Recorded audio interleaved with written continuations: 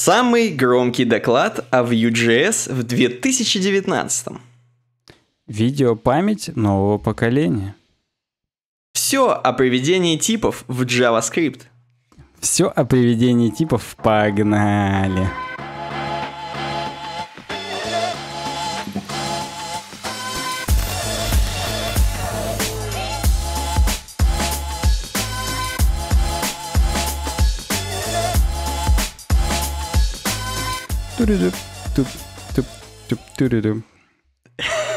Такое, шансоновое начало у нас немножко. А вот у Apple не все так хорошо. Уже сразу начинает петь. Первую темку. И хоп, и поддерживать жилеточку именно. Да-да-да. Как ты думаешь, соскучились ли по нам? Потому что обычно пишут, соскучились, туда-сюда. У меня вот соск... Вот ты начал когда говорить, у меня, у меня даже не соски при мне представилось, мне соскоп представилось. Вот так. мне хочется с некоторых наших, у некоторых наших подписчиков соскоп взять на токсичность, потому что есть те, которые пишут соскучились, а есть те, которые пишут «да вы, да, бля, да», и, и вот все вот это вот то. Ага. И поэтому даже, даже, даже ну, слушай, давай хотя бы представимся для, для новичков. Давай. Вдруг кто-то новенький у нас появился? Новенький.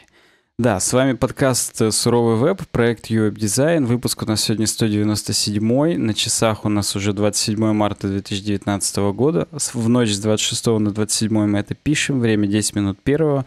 Меня зовут Александр Гончаров. Да, меня зовут Никита Тарасов. Да, Все, ну, что, хочется как-то что-то быстро. Знаешь, я тебе быстро расскажу. Короче, у меня чувак знакомый с прошлой работы. Mm-hmm. Я уже говорил, что он написал, что классно слушаю вас, нашел ваш подкаст мне написал. Но помимо этого было смешно, я говорю, э, ну, типа, есть другие там подкасты, там, Радио Ти, например. Э, а, он говорит, типа, я люблю слушать там всякие, типа, подкасты, которые легко слушаются именно, ну, во время работы, чтобы, типа, не отвлекаться. Сложные, типа, ну, тяжело слушать, там, я не знаю. И, короче, я, я начинаю думать, типа, что для него сложно. Я говорю, ну, например, радио Ти сложно.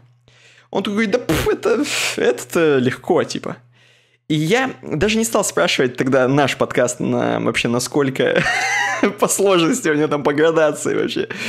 Возможно, мы там, ну, где-то... 0 самое... плюс примерно. Вот только да, мы, возможно... нельзя, 3 плюс, точнее, и, и у нас... Не, у нас, знаешь, типа должно быть написано только сюжет, просмотр сюжета. А радио Ти у него там драки. Драки и сюжет. Ну, ты понял. Mm-hmm. То есть Nightmare у него должна быть какая-нибудь английская хреновина про технологии, как про паяние, как про паяльник. Ну, или про машин learning какой-нибудь. Да, Почему-то да. вот это для меня кажется пиком, так сказать, э, сложности. Пикофарадом. Так. Давай, а что, я будем... знаю, если даже по нам не соскучились наши подписчики, то по Apple они точно соскучились. Это их любимая тема. Да, кстати, а... если вы вдруг э, наш подписчик и соскучились по нам, или, может быть, вы какой-то там э, более крутой пацан, типа, не знаю, какой-нибудь рекламодатель, то можете написать нам на worksobaka.evobdesign.ru. Да? Да. Не забыли. Вот это, да, это круто. И кроме всего прочего, я тогда еще добавлю, что мы выходим сейчас в премьере, и плюс чат, если смотрите нас в премьере. Все, погнали. Погнали. It's showtime на код.ру код.ру пишут нам про то вообще, что было, э, значит, э, на Apple Special Event, когда это было 25 марта. 25 марта. Да, это было в понедельник. Короче говоря, там, как обычно, в Стив, в Стив Джобс Theater, Theater именно, в Купертино, э, пацаны провели из Showtime, Apple пацаны, Тим Apple провел лично. И, значит, э, как мы с тобой, мы с тобой как Ванги предполагали, что они будут говорить чисто про сервисы. У нас, ну, не мы, конечно, мы читали новость, в которой предполагали, но вы все знаете, то есть у нас все задокументировано. У нас наш подкаст вышел раньше, чем Apple Special Event. Мы уже говорили, что будет про сервисы, они сделали про сервисы. Можно, можно практически сказать, что они с нами консультируются. Ну, да, согласен. Да. Это самый вероятный вариант. Да, представили Apple News Plus, Apple News Plus это хреновина... А, точнее, сам Apple News хрен с ним. Apple, э, именно журналы в Apple News Plus. То есть, если ты оплачиваешь 9,99 бакса, то в месяц ты получаешь доступ ко всем, мать его, гребаным журналам, которые там есть. А там сейчас уже что-то там 300 крупнейших журналов всего мира, такие как, ну ты понимаешь, там The New Yorker, The Wall Street Journal, там, и вот это все дерьмо. Vogue, так. Men's Health. То есть можно бицуху качать. Значит, вот, такая история, это первое. Далее, далее, далее. Я не знаю, хочется ли э, остановиться на этом чуть-чуть, но давай остановимся просто. Э, здесь ничего такого сенсационного нет. Журналы как журналы, красиво. Я думаю, даже там анимации будут. То есть именно не просто красиво именно в плане оформления, но еще и, наверное, аними- анимированный журнал. Я не знаю точно. То есть я не смотрел, не интересовался именно какие там конкретно. Естественно, Team Apple напирает на то, что так вы будете тратить 8 тысяч долларов, чтобы приобрести эти издания в реальной жизни. То есть купить с полок в Роспечати. Да? Вог. Там всего 10 баксов, 9,99, и тем более первый месяц бесплатно, понимаешь? О, ну это я помню, даже у Apple Music, по-моему, три первых месяца было бесплатно.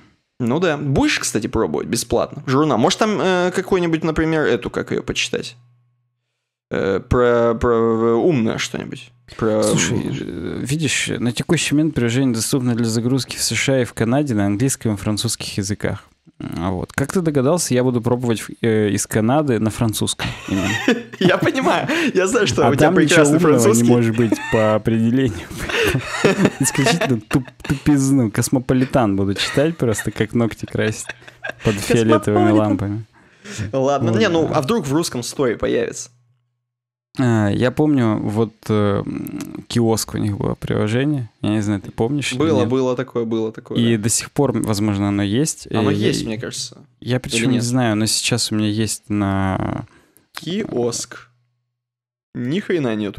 Надо, может быть, в App Store зайти. Ну-ка, сейчас попробуем. А, они один момент его навязали, и там именно оно как папка еще выглядело, и невозможно да, было да. ничего сделать. И в нем тоже что было? В нем тоже были журналы, а В нем да? были тоже журналы, в том числе, например, вот я читал там в мире науки и так далее. А, вот. И он там был. То есть это прям было именно что-то типа официальных эпловских журналов и так далее. Но я сейчас было, вижу, что нет. Под... Я, да. я сейчас вижу, что нет. И сразу какие-то журналы нам рекомендуют ну, от кого-то. Да, да, да, Стороннего Тут, разработчика. Э, это странно. Возможно, это теперь в iBooks включено. Ну-ка, я зайду сейчас туда. Книги, магазин книг. Давай, зайди, зайди. Кстати, магазин книг, э, хотел сказать, доступен на русском. Вот, но нет, там все равно Анна Каренина, Лео Толстой, The Idiot, ага. Федор Достоевский okay. э, и так далее. Ну, то есть именно руководство пользователя Apple Watch, там и iPad для iOS, ну, Винни они есть на русском. Я да, понял. Winnie the Pooh. Э, вот. И, и, и нон-фикшн, короче говоря, полный. Я не знаю, где сейчас взять вот этот киоск на iOS. Угу. И он есть еще или нет, но, видимо, он у них не удался. Поэтому я, честно говоря, даже не знаю, а почему Apple News удастся. Ну, опять же, Apple News не плюс, а просто Apple News.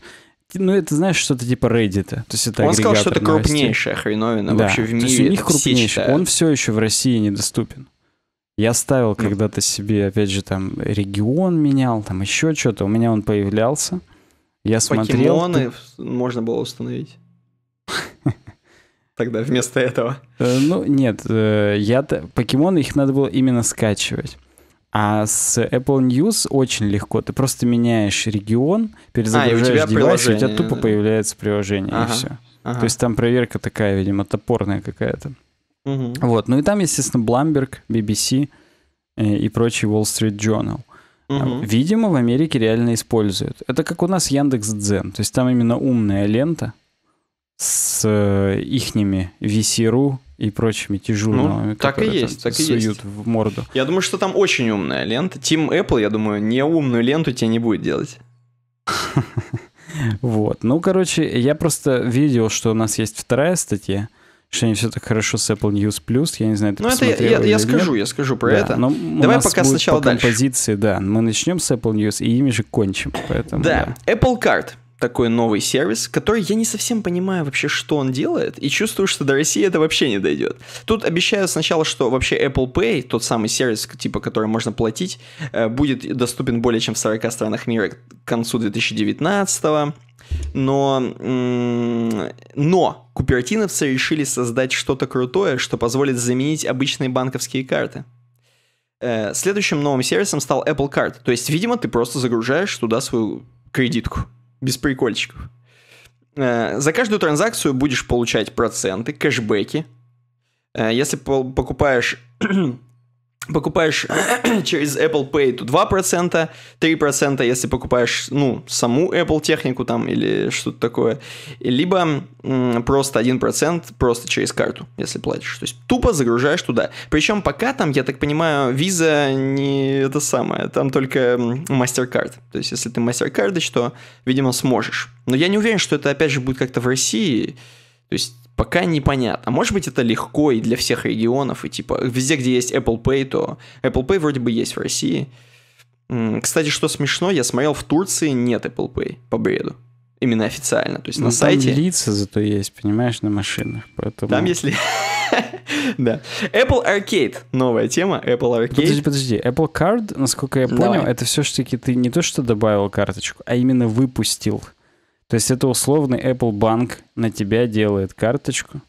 Ага. И ты как бы с нее живешь. Как на нее закидывать деньги, не очень понятно. То есть можно ли ее принести работодателю и сказать, чуваки, вот мой зарплатный Моя проект. зарплатная карта. Ну? Э, и, или, например, э, посмотреть реквизиты прямо здесь в приложении и со своего ИПшного счета на нее кидать деньги, например. И Я можно думал, слушай, ли выполнить это... дубликаты какие-нибудь? Тут, тут, много вопросов к этому. И, конечно, интересно, что кого. Интересно, интересно. Эм, ну ладно, пойдем дальше. Apple Arcade. Это, mm-hmm. короче, хреновина сервис, который позволяет тебе просто играть э, в игры вот, вот просто так. Берешь, платишь бабло. Э, и, короче, у тебя в месяц более чем 100 игр. Я так понимаю, каких-то казуальных и можешь офлайн причем в них играть. Угу. Вот. И, ну, я не знаю, то есть прикольно вроде бы. Должно быть. Ну, подожди. Э, то есть в какие-то существующие игры... Э, какие-то, из... которые выбраны Apple, видимо. То есть, причем я не понимаю, они будут меняться, эти 100 игр, или это будет постоянно 100 игр? То есть, скорее mm. всего, это, наверное, постоянные 100 игр, которые будут пополняться. Ну, там более чем 100, да, поэтому, наверное, могут пополняться. Хотя 100 игр, что такое 100 игр? Это вообще ноль.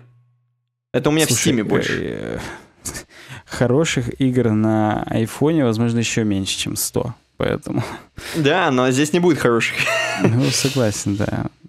Вот мне кажется, просто из существующих все будут пытаться... Хотя, опять же, учитывая вот эту политику Apple с забираниями 30%, собственно, как и в Steam, Угу. Возможно, те, кто продают игры, они даже и не будут пытаться попасть в Apple Arcade, ну, да. потому что они просто в iTunes на своих встроенных покупках также 30% Apple будут отдавать, и типа нахрен им вообще это надо. А, тут, тут не знаю. Пока мы с тобой разговаривали, я э, гугланул. Сейчас нет киоска, но есть внутри App Store э, категория газеты и журнала. Угу. И там по факту все оно же. Я, например, поставил хакер себе. Вот. И там внутри просто также подписка на месяц, там, на еще на несколько и так далее. И, ага. Есть Дом 2 журнал. Вот. Vogue Russia, Mother ну, and вот Care. Это самое интересное, это я пошел качать. Жур, журнал Генеральный директор, например. Есть зафи- зафичеренные, типа ведомости, коммерсант, Гарвард, Russia Review, бизнес. Нормально. Бизнес. Вот. Okay. Ну, Men's Health, опять же. Давай вот просто по прикольчику накачу Men's Health и скажу Давай, тебе, сколько, качаться. стоит, сколько стоит э, подписка, а ты пока расскажи дальше, что там про Apple TV Channels Кроме, Apple TV да, Plus. кроме этого, Apple TV Channels и Apple TV Plus, хреновина сервисы, которые, точнее, сервис, который тебе говорит, спокойно смотри через Apple TV, э, через iPhone и iPad свой, можешь смотреть тупо каналы, тупо HBO включить Игру престолов. Тупо MTV Hits смотреть, например. Тупо, что еще здесь я знаю, CBS, All Access причем. Такие, как бы, видишь, даже в рифму. Наверное, mm. они там очень круто это говорят, как-нибудь на CBS All Access. И там все у всех сразу течет. Ну, вот. Access, я думаю, все-таки Access читается. Ну, тем более. Вот. Но, возможно, там что, что, Дженнифер Энистон была? Да-да-да, но э, она там, э, это не, она не там была, это просто что она в, сери- в сериале «Утреннее шоу» для ТВ Плюс снялась. Для, а, подожди, для Apple TV+. сказать, что это именно... Это 2D? Это оригинальный, это 2D, это 2D, это оригинальный контент, как у Netflix. Угу. Только у Apple TV+, вот есть оригинальный контент, угу. и там они отдельно для Apple TV+, снимают там сериалы, шоу. Вот, например, как вот утреннее шоу вместе с Дженнифер Энистон и Риз Уизерспун. Угу. Вот, то есть тут практически уже свой Netflix. Небольшой, кстати говоря, Netflix, естественно, нельзя смотреть, как я понимаю, через Apple TV Channels. Это, видимо, не channel, это как бы целый провайдер. Mm, есть... А это в Apple TV приложка есть Netflix. Поэтому, как бы, ну да, но ты там, нее ну, можно жить жизнью. Имеется в виду, ты там уже платишь Netflix. Ну да, да, там в ней а, надо тут, покупать подписку. Да, да, да. А тут видишь подписку. А тут, видимо, если купил один раз, то смотришь HBO и вместе со всей с MTV Hits. Ну, кстати, вот обрати внимание, HBO-то в нее входит. Но HBO испокон веков еще, когда у меня самая ну, первая про... Apple да. TV была, не вру, не первая, вторая, первая черненькая. Уже угу. там было HBO, уже можно было там покупать подписку на него. То есть у них с HBO давнее партнерство. Ну вот. да, но этот просто, видимо, канал Каналыч. А Netflix-то они, видимо, уже там, ну, ноги отстрелят за такое. Скорее всего. Согласен, у них 150 миллионов уже подписчиков, поэтому тут с ними как бы конкуренция, она отдельная. Да, а мне да. просто хочется понимать, насколько будет это локализовано. Я имею в виду вообще, что будет не в США или ничего не будет. Тут, кстати, еще ну, ты не сказал, э, что Apple TV Plus это на Smart TV будет э, Apple TV. Угу, И опять же, угу. будет ли это, мне интересно, будет ли это э, какой-то даунгрейднутая версия Apple TV? Ну, то есть, когда у тебя полноценная приставка, будешь ли ты круче тех, у кого это Smart TV? Потому что, ну, у тебя же там все-таки 64 гига под капотом, пультик классный, и ты можешь играть на ней. Можно ли будет на Smart TV играть в Apple TV игры? Это все, конечно, пока, пока непонятно, и будет ли это... Собственно, у, на код.ру почему-то нет сроков никаких. То есть здесь не сказано, когда что будет доступно. Угу. Вот. Но это уже, вот, так сказать, в их огород камень. Ну да. Ну вот вторая новость, которую, о которой мы хотели поговорить, про Apple News Plus угу. тоже с Кода.ру.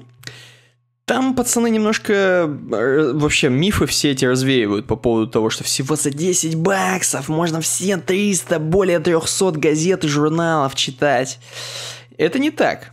Опровергают, видимо, опровергают, ну, не только на Code.ru, там еще и The Verge писали, короче, именно крутые пацаны, что Apple немножко проверяют по поводу 10 баксов, Потому что как делают, эм, как будут делать теперь издания? Во-первых, издания будут нанимать специальных чуваков, которые будут отдельно пилить контент, отбирать контент для для у Apple кого? News Plus.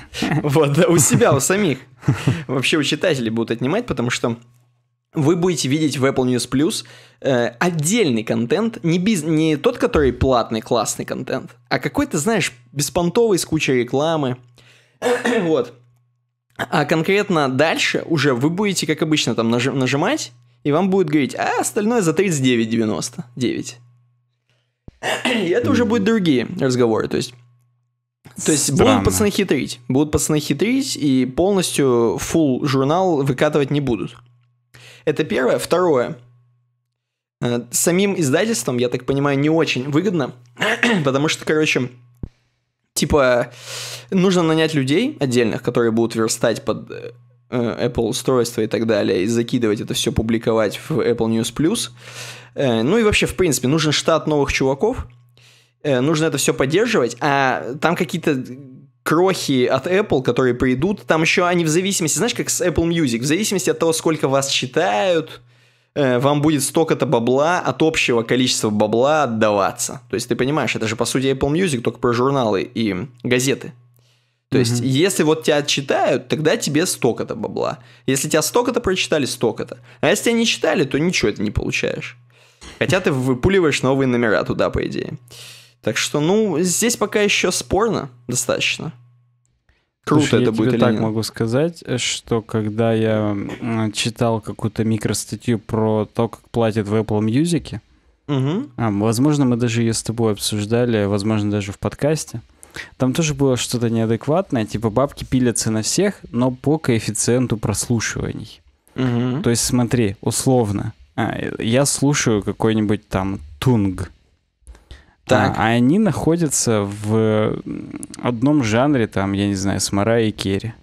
И прослушивание угу. тунг, они уходят Интересно. и Мара и Керри в том числе. Там, ну, там какой-то какой-то такой бред, что, в общем, если тебя дохрена слушают, то тебе сильно выгодно. А если тебя слушают мало, то ты, ты не за каждое свое прослушивание получаешь, а именно ты получаешь в процентном соотношении по сравнению с Марай и Керри. И это, как ты понимаешь... Ну, слушай, можно тогда просто в одном жанре с Лепсом делать. можно просто, типа, ну, русский, русский поп. И ноль выпускать, ноль песен. Э, и вместе с Лепсом получать его бабки. Я думаю, ну, он первый ноги отставит, как Netflix. Согласен. В общем, э, я согласен с тобой, что э, все это пока непонятно как. Men's Health стоит 150 за каждый выпуск, 75 стоит подписка в месяц. Я Если даже сказал подписываешь... за выпуск за каждый. Да, и за 75 рублей в месяц ты можешь, собственно, успеть все журналы прочитать, и через месяц ты уже перекачанный будешь Слушай, ну если ты за месяц все, все журналы Men's Health прочитаешь, то, во-первых, у тебя стоять будет до 100 лет, не упадет. То есть там, я думаю, такие советы, что, ну, там техники. Э, Причем там, кстати, э, э, до 2013 года, сентября, доступно. Ну, в обратном порядке, соответственно, все выпуски. Ну, Поэтому, в принципе, слушай, можно ну берем, берем. обложиться, да-да-да. Вот в мире науки я сейчас посмотрел, они прилом не занимаются, там даже э, ты его ставишь, там угу. заходишь внутрь, даже цены получить нельзя. То есть Нормально? там именно просто сразу всплывает ошибка при получении цен жмешь подписаться, там хоп, просто ошибка. Internal server error. 500. Да, ну, и просто, понимаешь... было год назад последний раз. Это, конечно, ну, грустно. Ну, то есть, хорошо, свежо, свежо. Я просто, понимаешь, после Men's Health берешь в мире науки весь прочитываешь, то есть становишься желтым мозгом, во-первых, а во-вторых, перекачанным со стояком. Остается космополитен прочитать, чтобы еще за детьми ухаживать хорошо, и все. То есть ты, по идее, Убер Зальдатен. Это типичный наш подписчик, я думаю, ты вот ну, его и описал сейчас. Да, это даже не патрон еще, потому что патрон еще Wall Street Journal успевает почитывать. Э, это, это как минимум. А еще и Vogue. Они еще модные при этом. Они как бы в теме всех. Они э, в шарфах такие сидят, именно нас слушают. И в теме всей трамповской и антитрамповской риторики, так сказать. Да. Именно слово риторика хочется здесь использовать, хочется, потому что мы же хочется. журналисты здесь как бы. Мы уже сами Wall Street Journal. Я думаю, что нам надо сделать U-Web журнал в Apple News Plus. То есть нанять штат еще людей, на которые тратиться будем. И, значит, и терять бабки дальше, потому терять что Apple нечестно там все раздает. И мы будем там просто контент продавать, что часть подкаста получить, а дальше за 33 А дальше 39,99. Да, да, да, да. Это, в принципе, Идеальная модель. Рабочая. Да, да, да я да. думаю, что это надо запикать в подкасте, чтобы не узнали про монетизацию.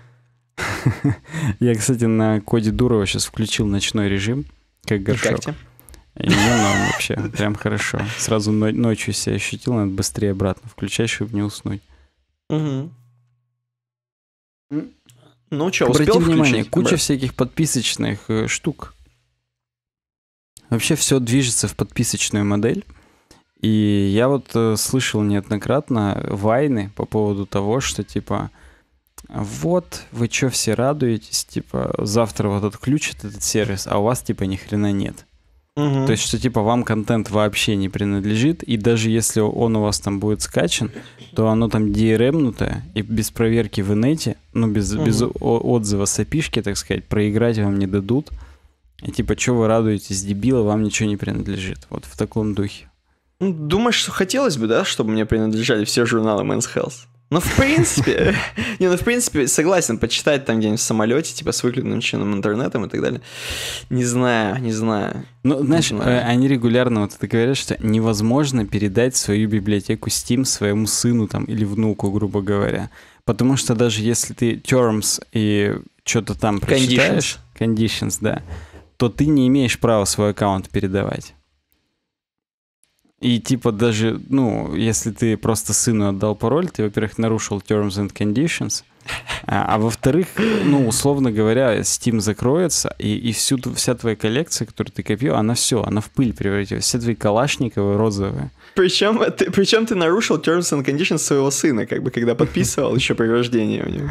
И это в том числе, да. Ну, не знаю, слушай, лучше не передавать сыну, пусть он лучше книги читает. Или хотя бы журналы с Apple News. Ну да, а книги в iBooks, опять же, потому что их-то тоже же можно передать. Их тоже, да. Там-то семейный аккаунт есть, и Apple-то точно не закроется. Поэтому не, зак... тут, не, да. не, это как, она постоянная, как вот у меня тут магазинчик Лидер с бухлом рядом. То она такая же постоянная. Уже больше, чем Apple.ru существует, Apple.com. Подожди, Лидер. Лидер — это тот, который ближе к налоговой? Да, да, да, да, да. А, я просто я его с купцом перепутал. Вот. Хотя ну, купец, наверное, так... тоже такой же постоянный. Тоже вечный, да. Ладно, что там в Vue.js у нас? У нас, кстати говоря, это практически сложная темка в начале. Я могу... Хотя какое начало это уже? Подожди, почему Vue.js? У меня про CSS стоит сейчас. А, тем. точно, точно, точно. Я открыл просто 100 темок. Ну, да, давай. и поэтому я как раз именно нашим подписчикам всовываю плавненько. Тут как раз легенькая такая штука. Я как раз ее в рабочий mm-hmm. чатик скинул, и мне наш верстальщик пишет, что что-то выглядит как просто статья для начинающих. И я написал, так я поэтому тебе и скину. Идеально. Да. Так вот, э, Чарли Геральд, Джеральд или Джерард, короче, телка какая-то пишет нам, что никакие вещи, которые никто ее не научил про CSS. Вот. Э, на самом деле, э, я, честно скажу, знал все. Я как бы не, не то чтобы хвастаюсь, просто, ну реально, я тут все это знал. А почему, да. собственно, почему это какое-то что-то скрытое знание? Слушай, просто это неочевидные вещи, в которые никто не вникает. И здесь она в эпиграфе об этом и пишет, что сейчас вообще никто не парится про CSS.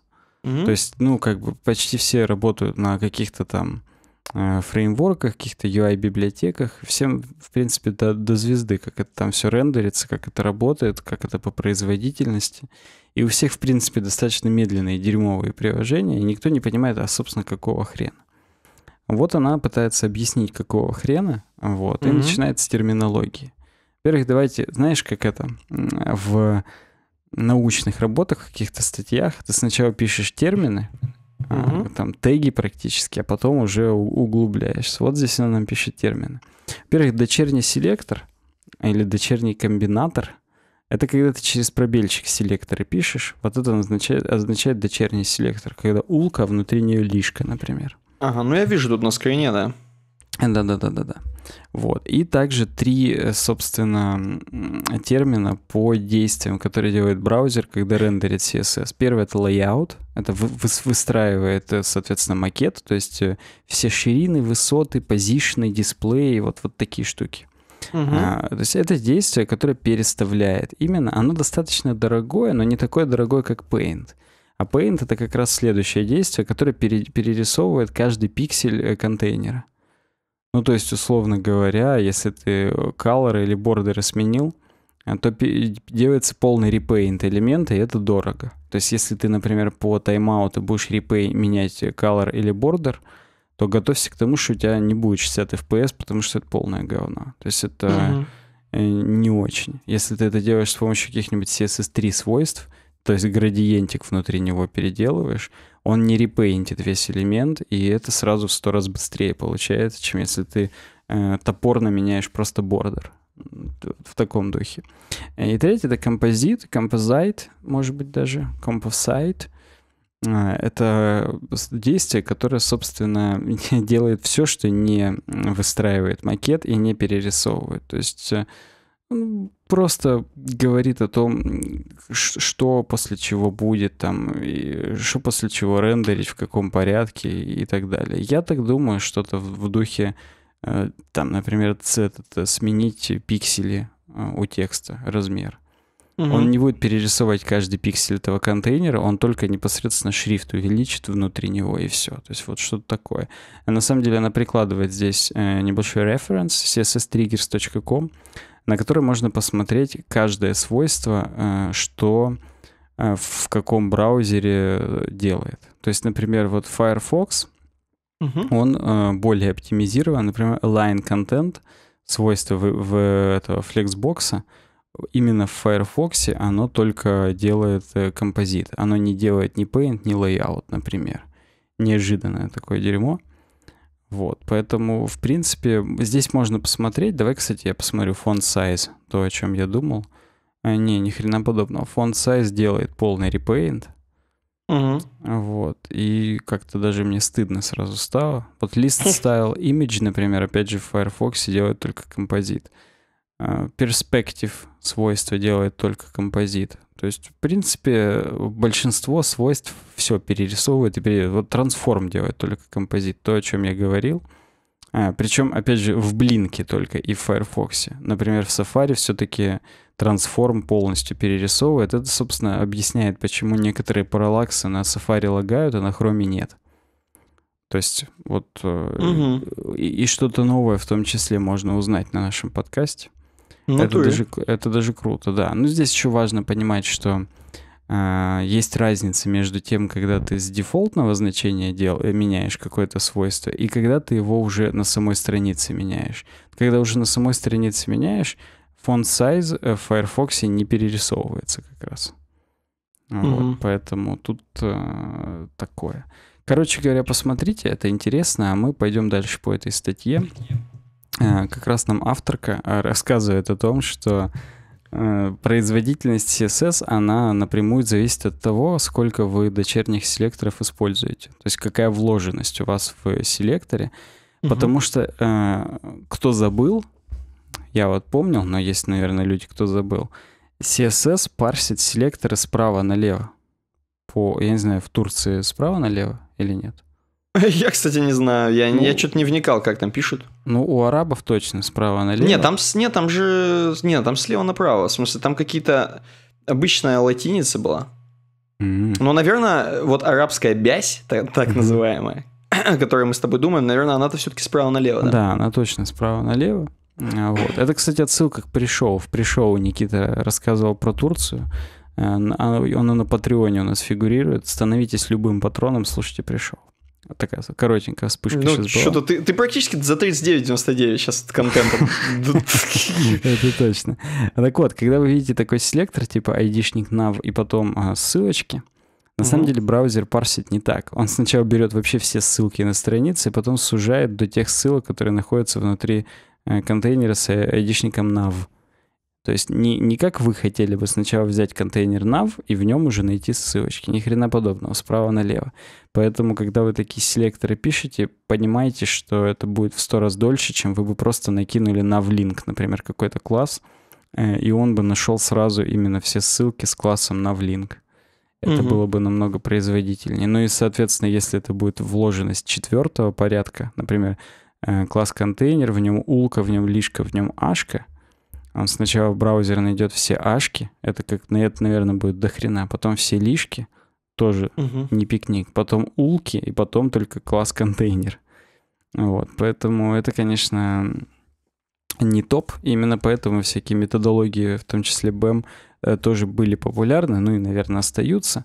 А потому что они тупо производительны. Когда ты делаешь, э, убираешь вот этот нестинг, вот эту вложенность, у вас просто быстрее это все рендерится. Понятно, что когда у вас э, счет не идет на сотни элементов на странице, это не так заметно, но когда это уже сотни элементов, а как вы знаете, там некоторые фронтендные фреймворки рендерят очень, опять же, беспонтовую такую верстку, а, особенно когда вы используете бездумно там 100 э, компонентных библиотек, которые друг в друге вызываете, там на самом деле очень в большую жесть может это все под капотом превратиться.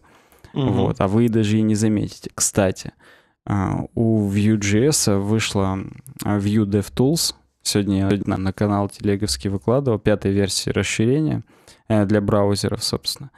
Вот, там есть вкладка Performance теперь, и там можно непосредственно отслеживать, какие действия на странице у тебя, какие компоненты перерисовывают. Вот, угу. и там можно прям наглядно посмотреть, э, что и где вы делаете не так. Так вот, э, возвращаемся к CSS. Она перечисляет некоторые очень э, дорогие CSS-свойства, потому что они пейнтят. Это border radius, box shadow, фильтр, end child селекторы, position fixed, вот такие вещи.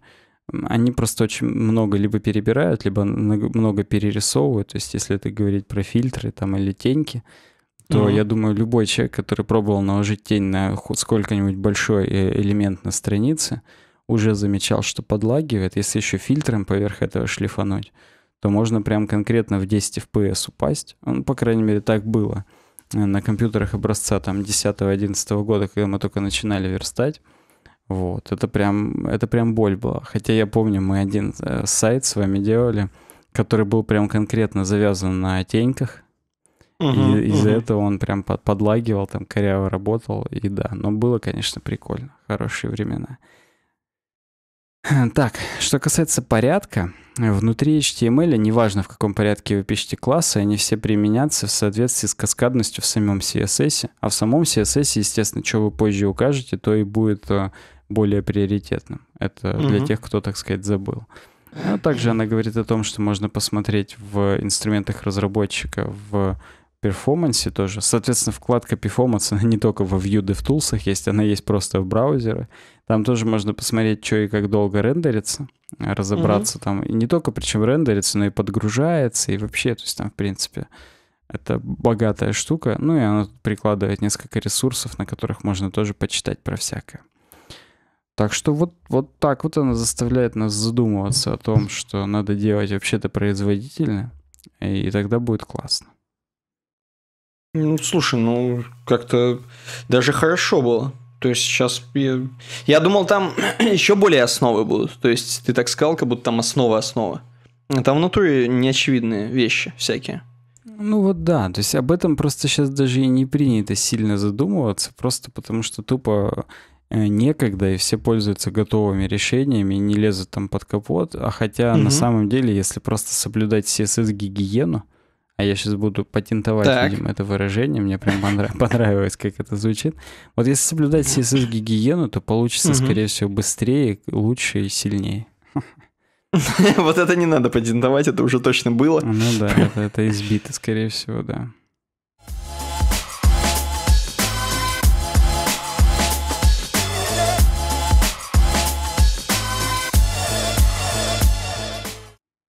Круто, круто. Давай тогда пойдем дальше. У нас да, дальше ну, наш, наш любимый хостинг. Ух ты. Да, SmartTape.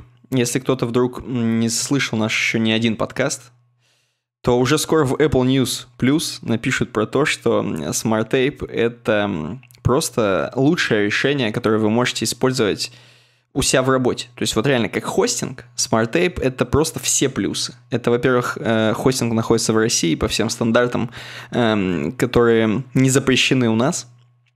Э, во-вторых, это все абсолютно доступно, как мы любим это говорить. То есть, ну, не, не 39,99 уж точно. Э, вот. И Короче говоря, мы выбираем SmartTape, надо уже так говорить. Лично я пользуюсь SmartTape. Да, у меня дома такой мне нравится. У меня дома смарт консультант. Да. И, в принципе, я тоже считаю, что это, это то, что нужно попробовать. Тем более, что... Вот мы с тобой, мы часто говорим про хостинги, но на самом деле домены тоже у SmartApe а покупать очень выгодно. С них реально да. дешевые домены. Вот, присмотритесь, обязательно зарегистрируйтесь по нашей реферальной ссылке, которую найдете в описании. Вот, и нам тоже с вас э, микрокопеечка упадет, хотя на самом деле мы, конечно, э, на самом деле макрокопеечка. ну, если вы аренду сервера оплатите, то тогда макрокопеечка упадет, да. Причем аренду нашего сервера желательно, чтобы сразу за... Да, просто с нами договоритесь, мы уже там как бы это, ну, решим там, что, как, сколько и так далее. Короче говоря, Tape это классно. Э, наша реферальная ссылка будет в описании. Да. Пойдем про новую видеопамять. Мы это сказали, что видеопамять нового поколения. Ну, знаешь, сейчас посмотрим. Вот я сейчас тебе расскажу, а ты мне скажешь, новое поколение это или, или это старое все еще поколение. Вообще, мне очень странно, что это на блоге Регру находится. Кстати, Сказалось, согласен. Где Регру и где железки. Но вот как-то вот так получилось. Угу. Ну, привлекают как-то, знаешь, к своему сайту, чтобы чисто читали про всякое. Скоро там, как в Cosmopolitan, в Men's Health будет, как накачать бицуху. Короче, High Bandwidth Memory, HBM. э, новый, как бы, я не знаю, стандарт, можно ли так назвать, но это типа HBM память, которая м, призвана сместить, я буду такими говорить шаблонами, призвана сместить GDDR5, которую сейчас все так сильно используют в крутых видяхах. Э, вот. И уже установлено, кстати, на, на, на некоторые NVIDIA графические карты, такие как, ну, я забегу вперед, Tesla, Tesla P100, NVIDIA Titan V, ну и Titan, Titan 5, э, Quadro GP100, Quadro GV. Короче, какие-то крутые графические ну, короче, карты. именно в тех, не в 2080 да. RTX нету, Не, не, нет, да, в тех, только в тех. Понятно, только Короче, почему круто? Почему это круче, чем GDDR5? Во-первых, э, значит, есть проблемы у GDDR5 уже сразу. Э, сама по себе она, я боюсь соврать, я буду чуть-чуть от себя тяну нести, но сама по себе GDDR5, она как бы требует большого количества логики для достижения высокой производительности. Это съедает место на печатной плате. Соответственно, достаточно большое пространство занимают модули питания, которые должны справляться с большим энергопотреблением памяти. То есть, во-первых, это здоровая хреновина. Во-вторых, она много потребляет энергии. Соответственно, расход большой. Э, это приводит к нехватке питания для самого процессора и падению производительности. У GDDR5 есть проблемы, скажем так. И этому всему есть решение HBM, High Bandwidth Memory, которая, она там все одно на одном. Оно маленькое, значит, э, найти более эффективное решение требовалось. Стала базовая соединительная подложка Base Logic Die, именно Die. Благодаря такой подложке графический процессор и DRAM являются единым чипом, сохраняя при этом необходимое производственное различие. Это позволило увеличить скорость передачи данных, уменьшить рабочие частоты и, как следствие, уменьшить энергопотребление устройств. То есть она еще менее энергопотребляемая. Новый тип памяти, названный HBM, обеспечивает высокую пропускную способность не столько за счет частоты, как GDDR5, но и за счет большой ширины шины. Это достигается путем использования трехмерной компоновки. Каждая интегральная схема памяти располагается поверх предыдущей. То есть там такой, знаешь, типа сэндвич некий происходит. Поэтому полупроводниковые пластины также должны быть и очень тонкими, порядка 100 микрон. Здесь вот на картинке показано что чипы, они прям один на одним. Угу. Вот. Соответственно, короче, это более крутая тема, чем GDDR5. Я только... Здесь не написано во сколько раз. В одной сборке HBM памяти из четырех слоев шинов 1024 бита из 8 независимых. Важно, что по сравнению с GDDR5 для работы HBM памяти требуется более низкое напряжение 1,3 вольта. То есть она вообще как бы такая халявная новый дизайн памяти является более производительным, потребляет гораздо меньше энергии, так пропуская способность чипа с 1 гигабайт HBM памяти в 4 раза выше, чем чипа с 8 гигабайтами GDDR5. Ну, то есть, короче, в принципе, это большой шаг, я считаю, в графической вот этой всей отрасли, будем говорить. Не знаю только, насколько это приживется в обычных видяхах, не в Теслах, да, и не в, не в Титанах, а просто вот взял новую видяшку от NVIDIA, просто поиграть. А, и, короче, там тебе поставили такую хреновую на HBM. Наверное, когда-то она приживется, если это реально крутая тема. У тебя какие вообще эмоции насчет этого? А, крайне странные. Во-первых, я сейчас Давай. перешел по ссылке, которая типа оригинал прочитайте на BitTech. Так. А, вот. Оригинал 2015 года. Ага. Здесь написано 26 марта 2019 года. То есть как бы 4 года чуваки переводили статью. А вот. Э, и да, я понимаю как бы в чем суть. То есть суть в том, чтобы на одном чипе разместить, и, соответственно, шина из-за этого очень широкая. Mm-hmm. Ну, это как примерно оперативная память и кэш-память процессора. Кэш-память в самом процессе находится, поэтому она как бы очень быстрая, но объем затруднен. То есть ты не можешь uh-huh. в рамках э, одного, этого, ну, одного чипа туда 100, 100 гигабайт нахрен ее закинуть. Ну вот. Но опять же, пропускная способность так. чипа 1 гигов в 4 раза выше, чем э, чипа с 8 гигами GDDR5. Угу. То есть, грубо говоря, там так много видеопамяти и не надо. Потому что она так быстро с ней обменивается туды-суды, что она будет успевать угу. загружать и стирать, так сказать, раньше. Э, и все такое. Но опять же, угу. мне интересно, а что с теплоотведением? Э, ну, то есть бутерброд, он как бы будто бы неравномерный. То есть чипы памяти, они выше, чем проц. Вот. И как это будет так скомпоновано, чтобы... Ну, понятно, что это будет крышкой накрыто. Вот. Угу. Но если чипы памяти будут напрямую к крышке прилегать, то проц нет, он будет где-то там внизу вариться, так сказать. И тут, конечно, мне хочется именно инженерно узнать, как вот эта ситуация будет решена. И мне теперь интересно, а чё, почему про нее, ну, как бы, если новость 2015 года, почему более громкого ничего про нее не говорилось, тут непонятно. То есть я, я увидел, собственно, почему Регру, потому что они предлагают, что у них есть облачные вычисления на ГПУ услугах, и там как раз такая память, типа, используется Там как на... раз Теслы стоят. Да-да-да-да-да. Поэтому... Ну, короче, прикольно, прикольно. Вот. Но в, mm-hmm. в, эту, в эту сторону нужно бы еще порыть. То есть вот если я сейчас, например, загуглю HBM Memory просто, мне вот интересно, там, угу. на Вики какая-нибудь статья попадется. Да, вот попадается. Ну и на Хоботе сразу есть статья. И там, естественно, на Хоботе AMD HBM пишут. То есть там э, ага. как будто бы То есть оно уже все. какое-то говно. Ну, вот странно. Вот странно. А ты сам где взял эту статью? Чтобы я понимал. Не знаю. Уже HBM 2 вышел стандарт в 2016. А, ну то есть мы с тобой сейчас очень смешно обосрались, когда сказали видеопамять нового поколения. А, ну, слушай, тем, так сказать, и тем и круче. И это AMD — это первые видеокарты, которые начали использовать эту вид памяти.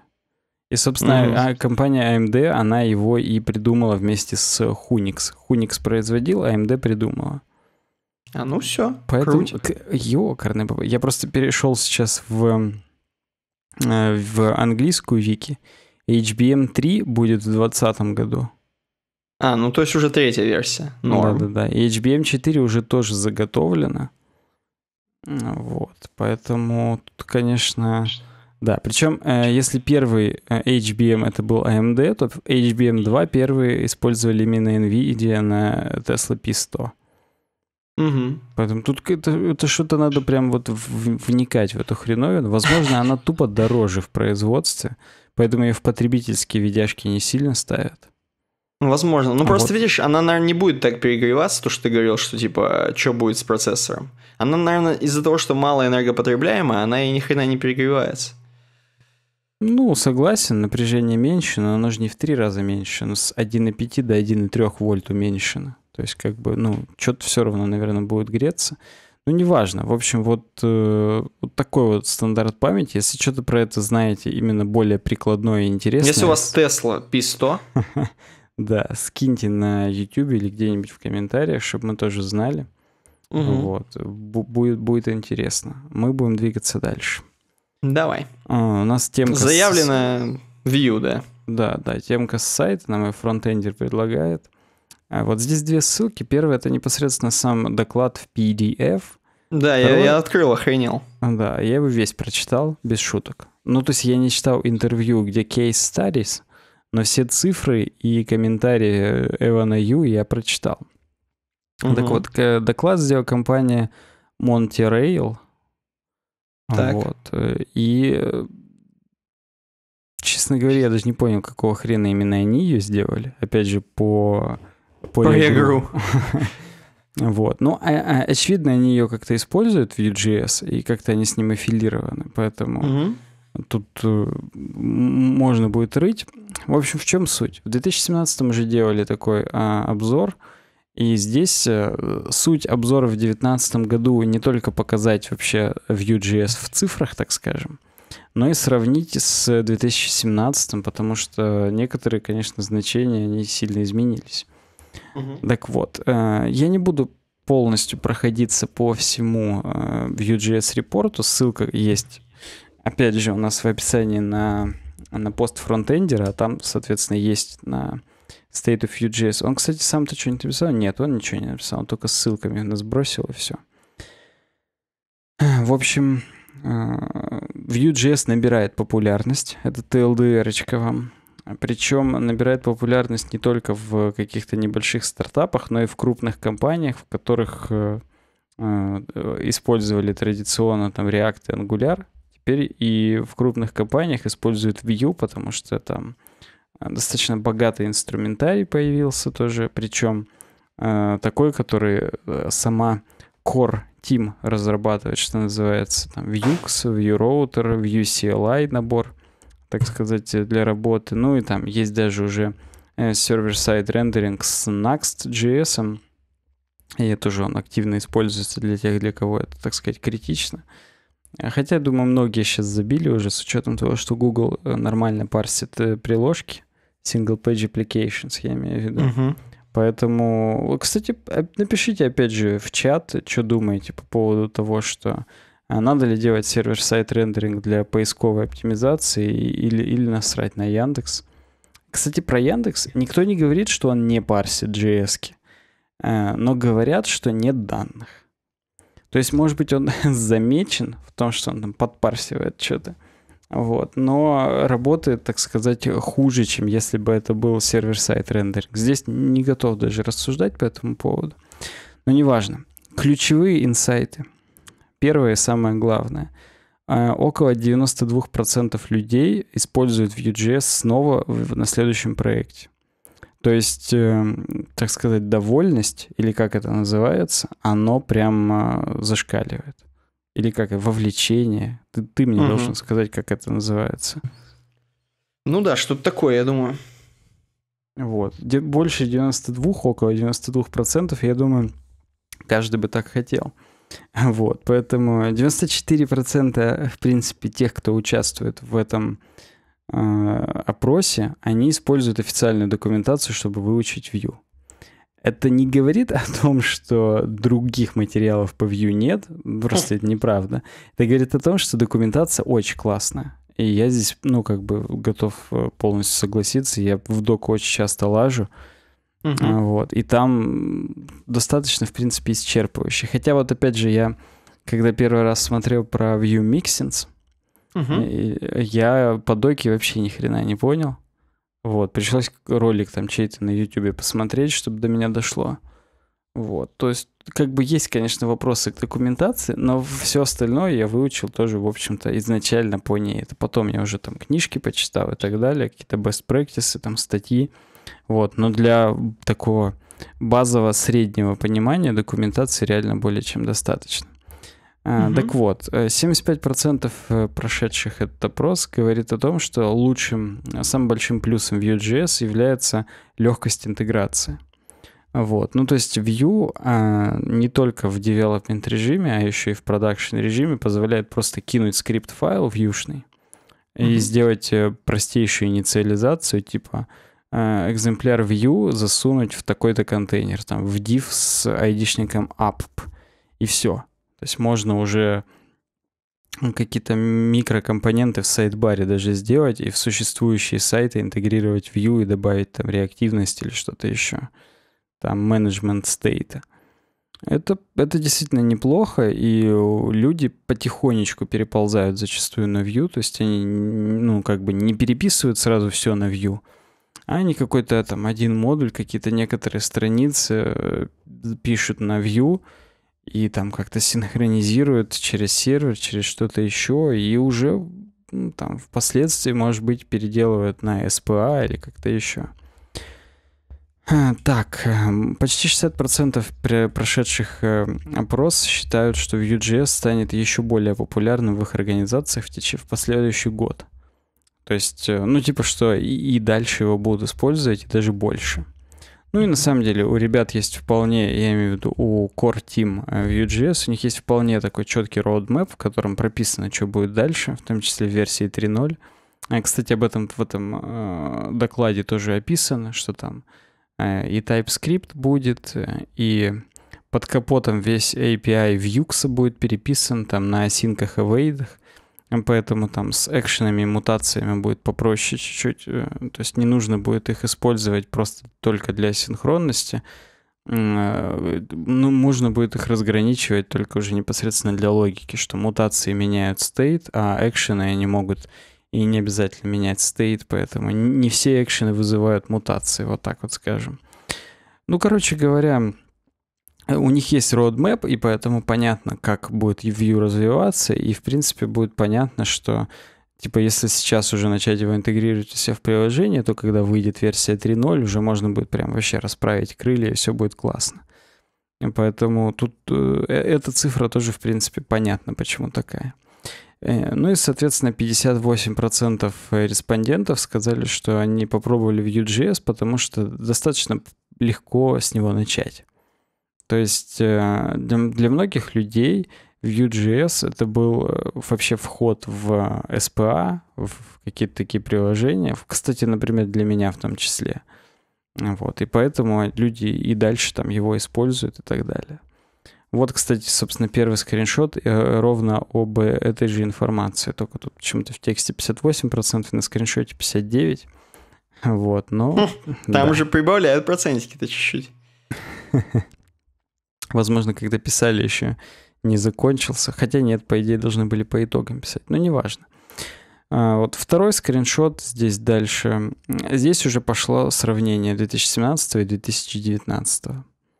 Вот. И здесь, собственно, рассказывает о том, какие были сомнения. Ну, почему не внедряли до этого в Vue.js, например, убавилось сомнений по поводу неизвестности о будущем.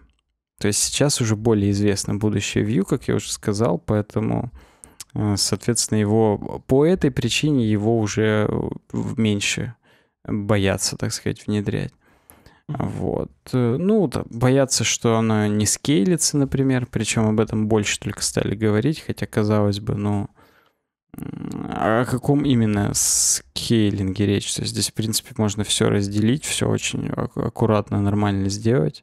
Э, я здесь даже не очень понимаю. То есть, опять же, напишите в комментариях, почему там Vue.js плохо скейлится, потому что я как-то даже и представить особо не могу. Вот. Дальше у нас есть скриншот, опять же, по лучшим плюсам. А, плюс по поводу документации. Раньше 45% вы говорили, что это плюс, теперь 75%. Документация реально стала сильно лучше. Вот. Но зато, например, по производительности на 5% меньше людей называют это плюсом. Вот. Но опять же, это напрямую связано с тем, что очень много э, уже появилось каких-то компонентных библиотек, очень много статей, в том числе дилетантских, в которых описаны подходы, которые просто банально не продуктивны, и из-за этого там медленнее что-то работает. То есть, в принципе, э, общая в среднем производительность какого-то фреймворка, она неизбежно будет падать с его распространением и популярностью, потому что все больше людей, которые плохо разбираются с технологиями, будут его использовать там, и так далее. Вот. Кстати, э, увелич... как плюс люди отметили комьюнити, на, на 7% больше людей отметили комьюнити. Вот. Ну, кстати, надо опять же отметить, э, что, например, под Reddit Vue.js, соответственно, на Reddit, угу. вот, он очень нетоксичный.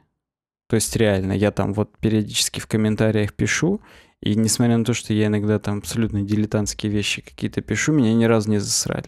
Мне всегда очень дружелюбно отвечали, и это прикольно. Это, это для меня явилось абсолютно приятной неожиданностью. Я бы, если этот опрос проходил, я бы тоже указал, что Vue.js комьюнити, оно очень такое прям Мне теперь интересно, какое самое токсичное комьюнити? Русское комьюнити, просто джаваскриптовое какое-нибудь. Хотя ну вот я вспоминаю чатики в телеге, в которые я был, какой же был самый... Самый токсичный, наверное, нодовский. Я думаю, что чем более задротный, тем более да, токсичный. Да, Хотя да, хрен его да. знает. Ну, ну да. Generally, я думаю, да, именно так. То есть в основном, чем более угу. задротный, тем более токсичный, к сожалению. Угу. А, вот. Э, соответственно, да, 74% считается, что, считают, что они с очень высокой долей вероятности буду использовать Vue.js и дальше, да, ну и 18% там с не самой высокой вероятностью. То есть, в принципе, high и very high это 92%. Это очень круто. Это круто. Uh-huh, uh-huh. Вот. Даже есть вот тут небольшая, так сказать, э, хочется сказать дисперсия, но тут это не дисперсия, разделение, в общем, просто на то, сколько лет уже Vue.js используется в организациях, и процент организаций, в которых э, Vue.js используется больше двух лет, вырос с 2 до 11%. То есть люди реально на нем сидят, и продолжается это все. И крепко сидят. Да, да, и крепко сидят, и, и крепко садятся. Например, уже 37% от 1 до 2 лет используют Vue.js, а было 19%. То есть, в принципе, рост очень сильно налицо. Ну, как я уже говорил, что касается ресурсов, 94% людей указывают официальную документацию, 81% — это статьи, блоги. Вот. А, то есть, в принципе, тут как бы, да. Вот опять же, я теперь даже с большой долей вероятности, если мне надо будет что-то спросить, я не на Stack Overflow спрошу, а в, в подреддите Vue.js. Там угу. реально как-то классно. То есть там периодически люди даже делятся, типа, вот моя, моя первая библиотека, мой первый компонент для Vue. И там никто не пишет, типа, ты что, чувак, поролся, что ли? Тут просто кусок говна. Нет, там все таки блин, да, прикольно, молодец. Типа, следующее, что тебе советую попробовать, это там исправить вот тут вот это, тут вот то. Это там, это супер. пойти нахрен из... Э, оторвать себе руки и выбросить их. Ну вот, да, да. Вот, вот такого нет, и это, это даже как-то и прикольно. Так, ну что тут еще интересного?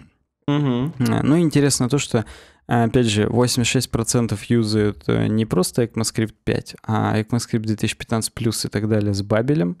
Тем более, угу. что если использовать Vue CLI, то бабель просто, он, он уже там есть под капотом, ты просто в TextScript э, пишешь lang э, текст бабель или как-то так, или просто бабель, даже не помню mm. уже. У нас mm-hmm. просто нет, на, на наших проектах не нужна поддержка старых браузеров, поэтому мы чистейший ECMAScript 2015 хреначим. Угу. Вот, и все, без, без транспайлинга. Ну, что-то типа lang э, текст бабель. Ну-ка, я даже сейчас посмотрю. View CLI. Даже вот в прямом эфире загуглю. Именно вот с, такой, с таким звуком должен...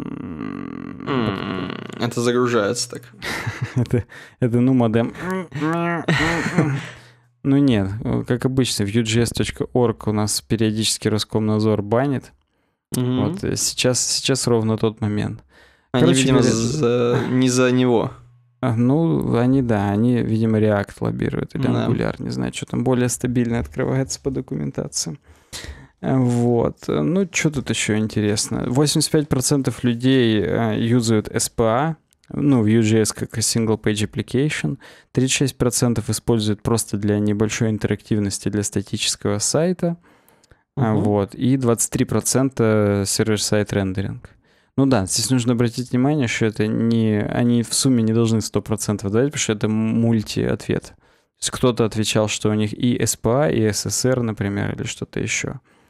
Вот. 90, э, 85% используют роутинг через Vue Router, ну, тем более, что это, повторюсь, это стандарт де-факто, это э, дефолтная библиотека, которую делает э, Core Team Vue.js, поэтому, uh-huh, да. Uh-huh. Соответственно, 8.7 для менеджмента стейта используют 8.7 э, Vuex, и это, опять же, стандартная библиотека, которую Core Team делает.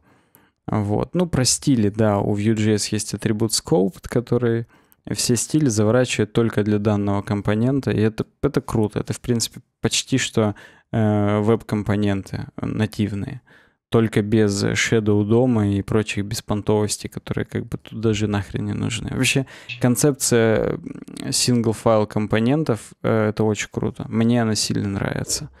Вот. Хотя, ну, как бы противники Vue.js считают, что это его главный минус. На мой взгляд, это один из главных плюсов. Поэтому тут э, такое дело. 51% используют Vue CLI 3. Это, собственно, опять же, стандартная, стандартная сборка, стандартный бойлерплейт от э, Vue Core Team. Поэтому мы, мы тоже ее используем, она, она, она здоровская. Вот. 50, кстати, вот это интересно. Ну, не то, чтобы я сейчас так сказал, как будто здесь прям интересно-интересно. Вот. Но на самом деле просто прикольно. 53% Vue.js приложений используют бэкэнд на ноде, 44 на PHP, 19 на C-Sharp и 19 на Java и 19 на Python. 10 на Ruby и 10 какие-то другие языки. Я очень удивился, что очень мало гошных опишек. Ну, угу. то есть, правда. Я думал, что Go уже будет где-то тоже там 15 хотя бы процентов. Но нет, это, видимо, в Other где-то происходит. Возможно, все 10%. Это Other.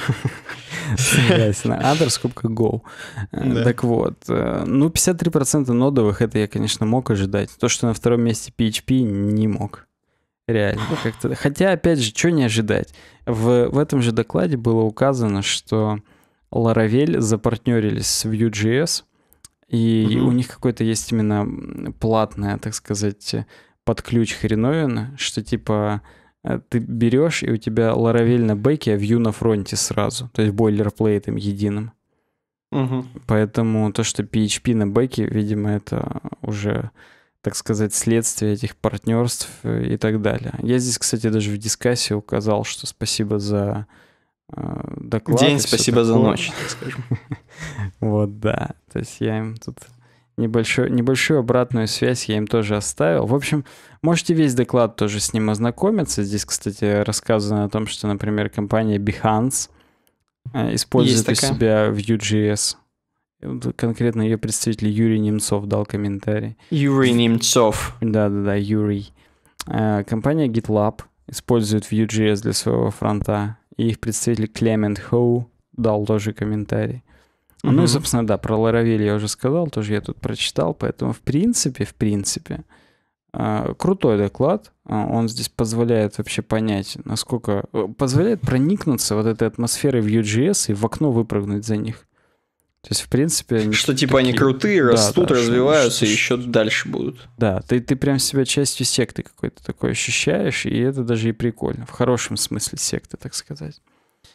Ну все, что, я, мне я знаешь, что интересно? У меня ну вопрос. Мне, у меня вопрос. мне нравится сказать тебе что-то интересное про Vue. Да. Я прям даже, да. Мне это интереснее, чем то, что 53% э, бэкэнда на ноде было. Так, продолжай. State of Vue.js, то есть это, э, в принципе, это типа какая-то разовая штука, или это каждый год они проводят? То есть, или это они, ну, вот или это они каждый месяц проводят? 18 пропустили, в семнадцатом году было, и вот сейчас в девятнадцатом было. То есть в восемнадцатом нечем было хвалиться? Ну, видимо, там они что-то это продрочили, не было человека ответственного, который этим занимался. А в этот раз они прям э, тоже сделали.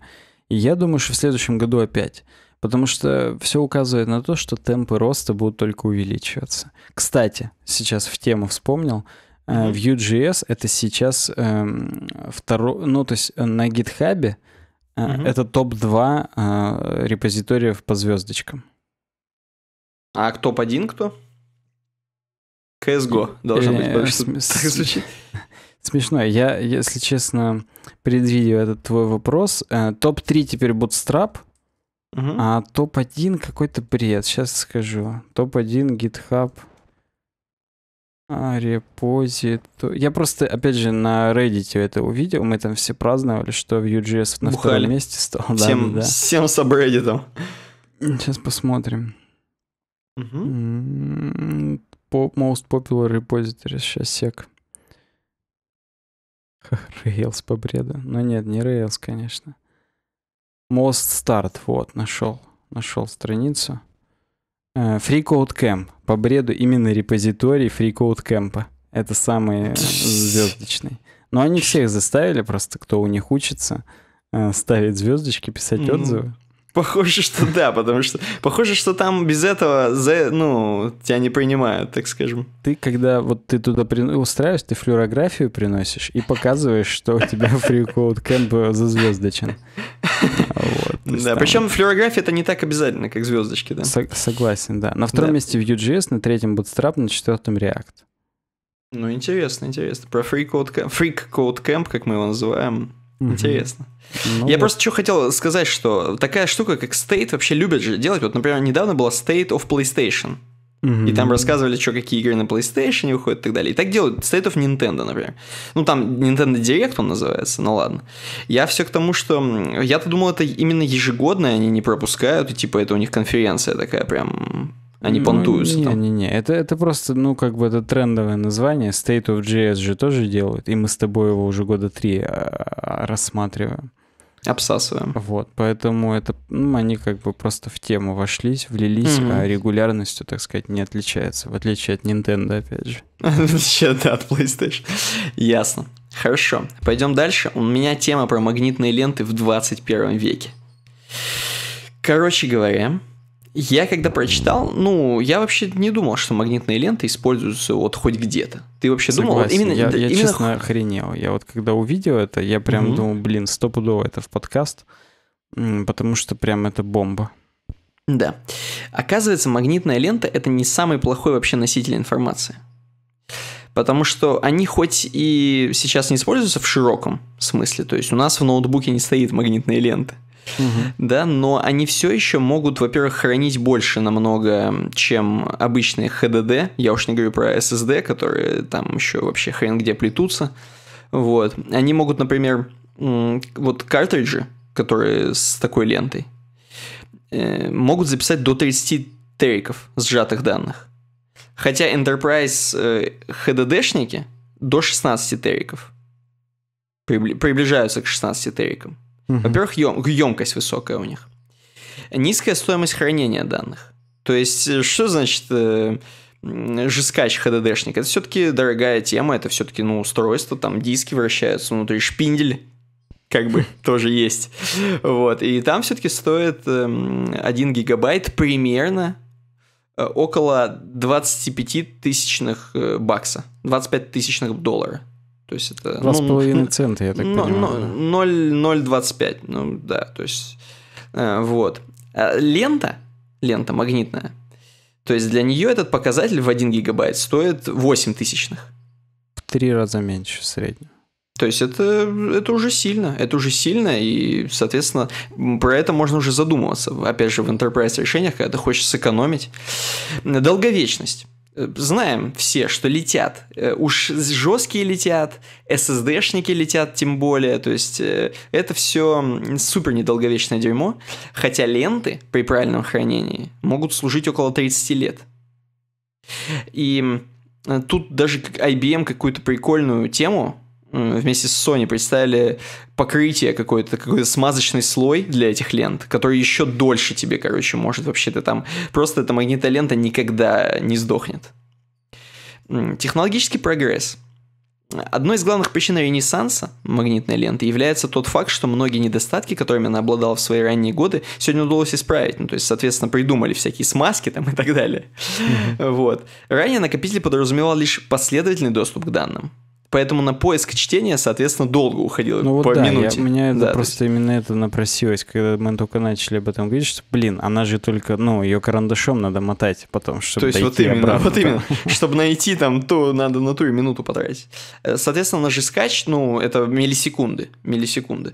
Сейчас современные технологии нивелировали влияние этого недостатка. Новые картриджи поддерживают файловую систему LTFS, она индексирует содержимое ленты, что ускоряет чтение данных, создает иллюзию произвольного доступа к ним. Ну да, если ты очень быстро мотаешь на нужное место, кажется, что как будто что бы кажется, ты, что все классно. захотел, да, да, да. Да. Ну, кто использует магнитную ленту? Вот здесь есть классный пример э, про Gmail. Они в 2011 году, как я понимаю, обосрались. Короче, потеряли э, охрененные данные именно на своих облачных там э, этих и, короче, они обратились к своим магнитным лентам, на которые они, видимо, дублируют инфу. И там-то все классно, там-то ничего не потеряно, там-то все замечательно. Вот. Ну что, в общем, в принципе, ну и другие чуваки для Big Data используют магнитные ленты. Я даже в принципе, есть еще примеры.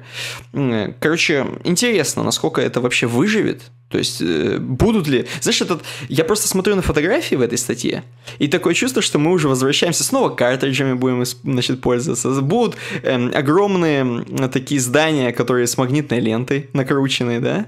То есть такое чувство, что мы именно по спирали движемся снова в какие-то такие вот 50-е года, я боюсь, в 60-е. Вот, когда, короче, все на магнитные ленты записывается. Такой некий нео э, классицизм, или как это сказать, я даже не знаю. Короче, биошок некий, да. Ты вообще вот как к магнитным лентам? Прикольно тебе? Во-первых, сразу вспомнилось, как в фуллаутах э, Братство Стали у них стояли именно такие большие компы с магнитными лентами. Да. И да. теперь мне вот интересно, э, чуваки, когда Джоша Сойера и Криса Авилоны, когда это дизайнили, они имели в виду, что типа у этого будет ренессанс, или это угу. просто было именно там, 50-е, 60-е стиль? И, ну, и они как бы просто сделали, как будто бы там технологии на том этапе остались, и все. Вот. Это просто теперь, теперь даже интересно. Возможно, они это... гении. Возможно, хотели так. Ну, согласен, да. И это вообще сам... Мне, я, мне очень понравилась эта статья. Возможно, моя любимая сегодняшнего подкаста. Вот, Ты просто... еще дальше не слышал. Там следующая статья, знаешь, какая будет? Знаю, поэтому и говорю, что это любимая. Так вот. И мне прям, мне сильно понравилось. То есть это, это, конечно, мне теперь интересно, например, а российские какие-нибудь компании, типа Яндекс или Рамблер, используют их или нет. Или для них это типа западло, типа, фу, какие магнитные ленты, ты чё, у нас там У нас все, все в облаках. Диски, да-да-да. Да-да-да, а потом это все сгорает, как мы знаем, у каких-нибудь хостингов. Опять же, а вот если кто-то с магнитом рядом пройдет, там размагнитится или нет? Ну, как Мне кажется, там уже... же так, там же смазкой намазали этой, той а, самой, понятно. там уже ничего не размагнитится. Ну, слушай, тогда круто. То есть это интересно, это, это прям завораживает, это интересно. Да, и... слушай, знаешь, так и к перфокартам можем отойти назад, то есть тут интересно. Ну, то будем опять там точечки выбивать или что там, как там в, перф... в перфокартах? Ну да, да, точно. Ну, слушай, не зазорно, если одна точечка это 1 гигабайт будет. Ну, согласен. Выбить там, ну, в натуре терек Слушай, можно и выбить, да. Да. Потом последовательно доступ организовать просто и все. И, и с маской смазать эту дырочку. Ага. Да.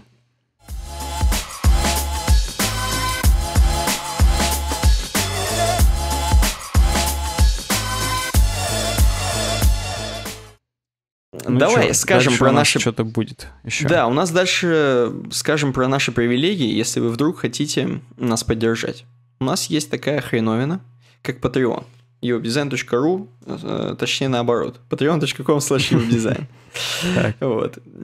Короче, и если вы вдруг, например, э, хотите нас просто поддержать, или же вам не хватает, или хочется какого-то чего-то еще дополнительного от uwebdesign, то есть от нас. Например, таких плюшек, плюшек именно, как стикеры, как, э, например, наше замечательное pre-шоу перед подкастом, вот, и всякое такое, а может быть даже вы хотите с нами обсудить какую-нибудь тему, все хочется вот это нарушить девственное плево обсуждения темы, порвать его, да, то есть вдруг кто-то хочет, такой, знаешь, есть борзый какой-нибудь чувак, может быть, он хочет свою библиотеку на Vue.js прорекламировать, свою там э, что-нибудь такое, пусть заносит, э, там у нас, по-моему, максимальное это максимальный э, Не, не максимальный, pledge. 40, 40. Уже на 40 можно свою одну библиотеку обсудить. Максимальный пледж позволяет э, целый блок с нами поговорить. А, а нет, ну... там смешно. У нас теперь 40 — это э, темка, а 80 — это именно просто тупо на заказ что-нибудь сделать. Ну, хорошо. Я уже и забыл, что у нас есть такая награда. Обратите внимание, всего за 80 баксов можно полностью на заказ сделать. Это, кстати, дешевле, чем цена рекламного ролика. Кстати, да, кстати, да. Ну, мы надеемся на то, что вы в следующий месяц 80 занесете, а дальше вы уже забудете, и мы будем делать подкаст, а вы по 80 баксов будете заносить. Да кстати говоря, э, я просто хочу сказать, опять же, как вот, чтобы у всех были так скажем, как вот у тебя с Vue.js хорошие ассоциации в плане того, что мы растем, мы развиваемся, я заметил, что у нас чуть побольше стало вроде бы э, все-таки суммы, которые мы получаем на Патреоне. То есть пацаны нам доверяют, заносят. Э, Даже не сумма больше радует, а само количество патронов.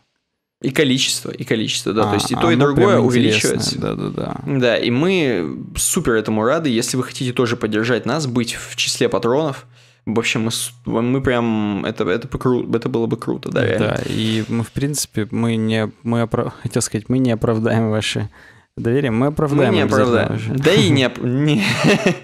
все правильно сказал. Хорошо, чё, пойдем дальше, пойдем дальше. Да, пойдем дальше. Нам Александр Майоров предложил темку свою. Мы, в принципе, его темы и до этого рассматривали, и без его указки. Вот. Но сегодня по указке рассмотрим. Давай. А, про приведение типов JS и магию. кстати, наш коллега, между прочим, ведущий подкаста Радио GS, и там у них еще отдельный подкаст какой-то. Я все никак не могу запомнить, как он называется. Угу. Ну вот что они регулярно выходят, Саня. Вот как будет оригинально выходить, так я запомню, как он называется. Часто говорят, что JS непредсказуем и в нем много магии. На самом деле так говорят от незнания. Если разобраться с базовыми правилами, то JS становится очень понятным, и вы можете превратиться из зрителя, который смотрит на фокус, в иллюзиониста, который может слушателя. показывать фокусы. Да, слушатель. А, ловкость ума, документация, никакого обмана. Супер. Вот э, нам заводочку написал классно. А сами эти темки очень Может быть, это читать. два разных Александра Майорова пишет. как бы я тут, я, в принципе, могу в это поверить. То есть один Александр Майоров, который классные тексты пишет, продает нам. Вот. А, а этот второй умный, но не такой рекламный пацан. Ну, в принципе, нормальная такая теория, да. Э, начну я именно с первой части его статьи про приведение типов. Э, он здесь пишет, что он, в принципе, вот этот цикл статей — это подготовка его к написанию какой-то вообще прям космической статьи. Вот. И видишь, mm-hmm. он пишет, э, написание этого материала — это подготовка к одной хорошей интересной теме, связанной с полиморфизмом, перегрузкой в JS. Когда писал статьи про перегрузку и полиморфизм, понял, что есть много вещей, которые нужно объяснить до того, как расскажу про них, иначе будет сложно. Поэтому будем идти по порядку. В общем, вот он идет по порядку. А, у него здесь эпиграф есть, где отсутствует точное значение, знание, там действуют догадки. А из 10 догадок 9 ошибки. Mm. Да, то есть он прям здесь воодушевляет, а, если это кого-то воодушевляет вообще. Вот. Ну и здесь на самом деле здесь такие полуклассические задачки с собеседований. Вот. Но на самом деле он нам это рассказывает не для того, чтобы мы на собеседовались пошли, а просто для того, чтобы мы владели инструментом, которым пользуемся, и во всем мире, так сказать, стало чуточку меньше говнокодеров на JS. Как говорится, владеешь информацией, управляешь ситуацией. Вот да. Э, ну и здесь, соответственно, небольшой снипет, что мы в переменную bool э, записываем констру... Э, результат, так сказать, выполнения конструктора new boolean от значения В переменную false. bool записываем щит, я понял, да. Ну, продолжай. Да, да, напрашивать. Вот, потом проверяем if bool консоль log bool и if bool 2 равно false консоль log bool. Здесь есть небольшой конфуз. Выведет bool на самом деле дважды. Вот. И почему же это так? Ну, тут а, нам а, Александр рассказывает про то, что, в принципе, у JavaScript есть три типа приведения. Угу. Первая строка, вторая численная, третья логическая. То есть логическая — это когда я с конца начну, когда вы а, любое значение приводите либо к true, либо к false, и, соответственно, фолсовые значения — это нолики, undefined, null, none и угу. пустая строка.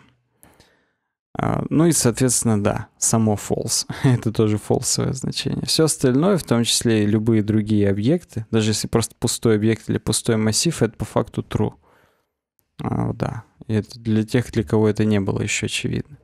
Mm-hmm. Численное приведение типа, оно происходит в математических выражениях также при сравнении. То есть, если ты вдруг при, прибавляешь к циферке что-то или вычитаешь из циферки, срабатывает э, численное приведение типов. Или если какой-нибудь просто унарный оператор плюс или минус, тоже будет численное при, приведение типов. А, во всех, собственно, остальных случаях будет строковое приведение типов. А, вот. Угу. Да. Так вот, э, соответственно, здесь нам он рассказывает пример двусмысленности. Если мы в переменную а запишем цифру 0, а в переменную b запишем строку э, пробел 0 пробел, э, то логическое приведение а это будет false, потому что 0 это false. А вот логическое приведение b это будет true, потому что здесь не просто строка 0, а пробел 0 пробел. А, а любая, ну, как бы не пустая строка или там не строка 0, а это на самом деле true. Угу. Поэтому вот как бы так. Но при этом, когда мы сравниваем а равно равно b, э, получим true, несмотря на то, что там пробельчик, э, нолик пробельчик. Все потому, что в первом случае у нас идет логическое приведение типов, а во втором а, численное. То есть из-за того, что это операция сравнения, напоминаю, в операциях сравнения используется численное приведение типов. Кстати, сразу скажу, в операциях э, жесткого сравнения, типа 3 равно или восклицательный знак 2 равно, э, там вообще нет приведения типов. То есть там э, сравниваются значения без приведения типов, в том числе их типы. То есть там строка 0, и точнее там пустая строка и нолик, они не будут равны, потому что приведение типов не произойдет. Вот. А, таким образом, нужно запомнить, что в JavaScript есть три типа преобразований. String в скобочках, number в скобочках и boolean в скобочках, соответственно, для строкового, числового и логического приведения типов. Ну и да, а, особым случаем является проверка на равенство таких специальных типов, как null и undefined. То есть они равны только друг другу и не равны всему остальному. То есть null равен null, undefined равен undefined, но undefined не равен null, и null не равен undefined. Такие дела. Так вот, если вернуться к той задаче, которую мы вначале показали, когда мы в bool записали щит, точнее конструктор new boolean от false, э, то э, при, э, значи, при if bool проверки у нас используется логическое приведение типов. Так вот, а логическое приведение типов у нас конструктор объекта это, это, это объект. Ну, то есть э, экземпляр класса boolean, соответственно. А, это всегда true. Поэтому у нас здесь сработает и выведет bool. Так вот, а потом, во втором случае, когда мы делаем bool равно равно false, э, у нас происходит э, цифровое, или что там, числовое, числовое приведение типов. Э, и по числовому, если мы приводим, то у нас срабатывает это правило и тоже true. То есть вот, э, вот, вот, вот собственно, и все э, решение. Кстати говоря, что касается э, приведения типов, за него отвечают магические методы. Магический метод value of и toString, если говоря, забегая вперед в новую статью, во вторую статью, там он расскажет, где есть value of, где есть toString, как их можно переопределять и так далее. Вот, ну, в общем, при, при числовом сравнении вызывается value of, э, прототипный, uh-huh. собственно, метод. Э, и да. Э, зачем это знать? Он нам говорит, это нужно знать для того, чтобы тупо разбираться, опять же, там, в том языке, которым ты пользуешь, и, и быть классным. Переход во вторую статью. Вторая статья менее понятная, чем первая.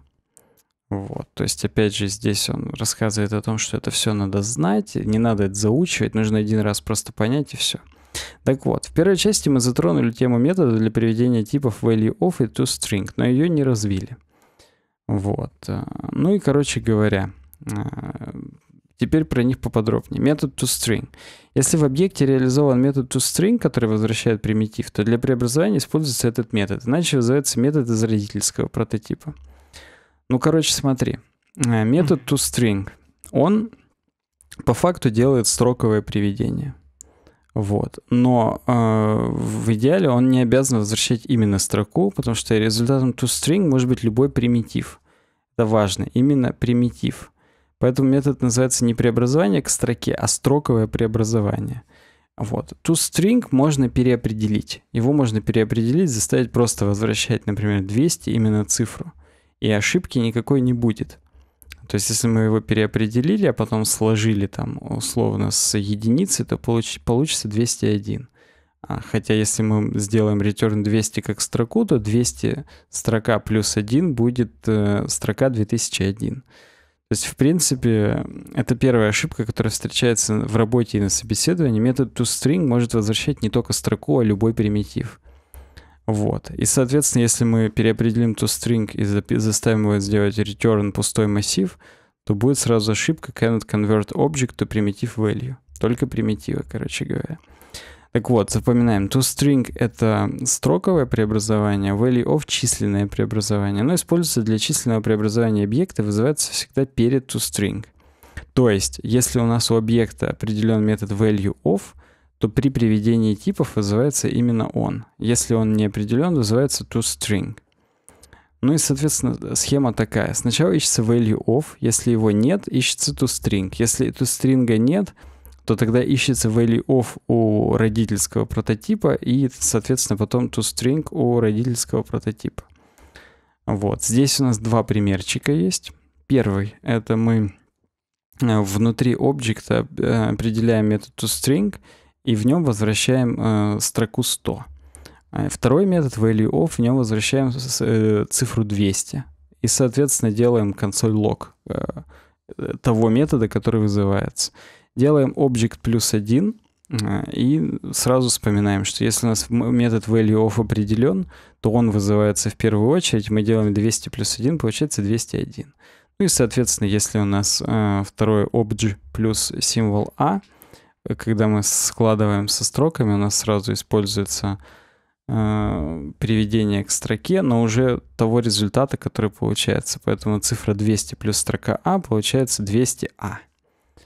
Вот. Но опять же, если вдруг мы э, запортачили метод value of и сделали в нем return э, пустой объект, он не срабатывает, вызывается toString, и поведение уже, соответственно, меняется. То есть у нас value of игнорируется. Он, конечно, делает консоль из него, потому что по факту метод вызывается.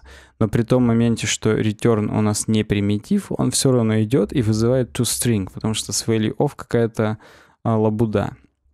И угу. уже действует в зависимости от того, что у нас происходит именно на э, toString. Кстати, так смешно, у него причем справа именно выводы э, из консоли верные, а в комментариях ошибка. И он тут написал, тут ошибка в комментариях перезалить фотку, но так и не перезалил. Хотя нам предложил. Видимо, хотел, чтобы мы поржали об этом. но неважно. В общем, э, запоминаем. Value of в первую очередь, если он реализован, но там возвращается не примитив, то все равно возвращаемся к toString. А, есть исключения. Просто по историческим причинам, как писали язык JavaScript, у объекта date есть исключение. А, у него э, так, у date реализовано и toString, и value of. Но исключение в том, что сложение со строкой вызывает toString, а не value of, потому что по логике всегда вызывается value of. Вот. Но это просто исключение, которое нужно запомнить. Дальше он нам в конце этой статьи расскажет, как это воспроизвести с помощью символов. Mm-hmm. Вот. А, тут как раз он сейчас начнет символов накидывать и пойдет прям космос конкретный.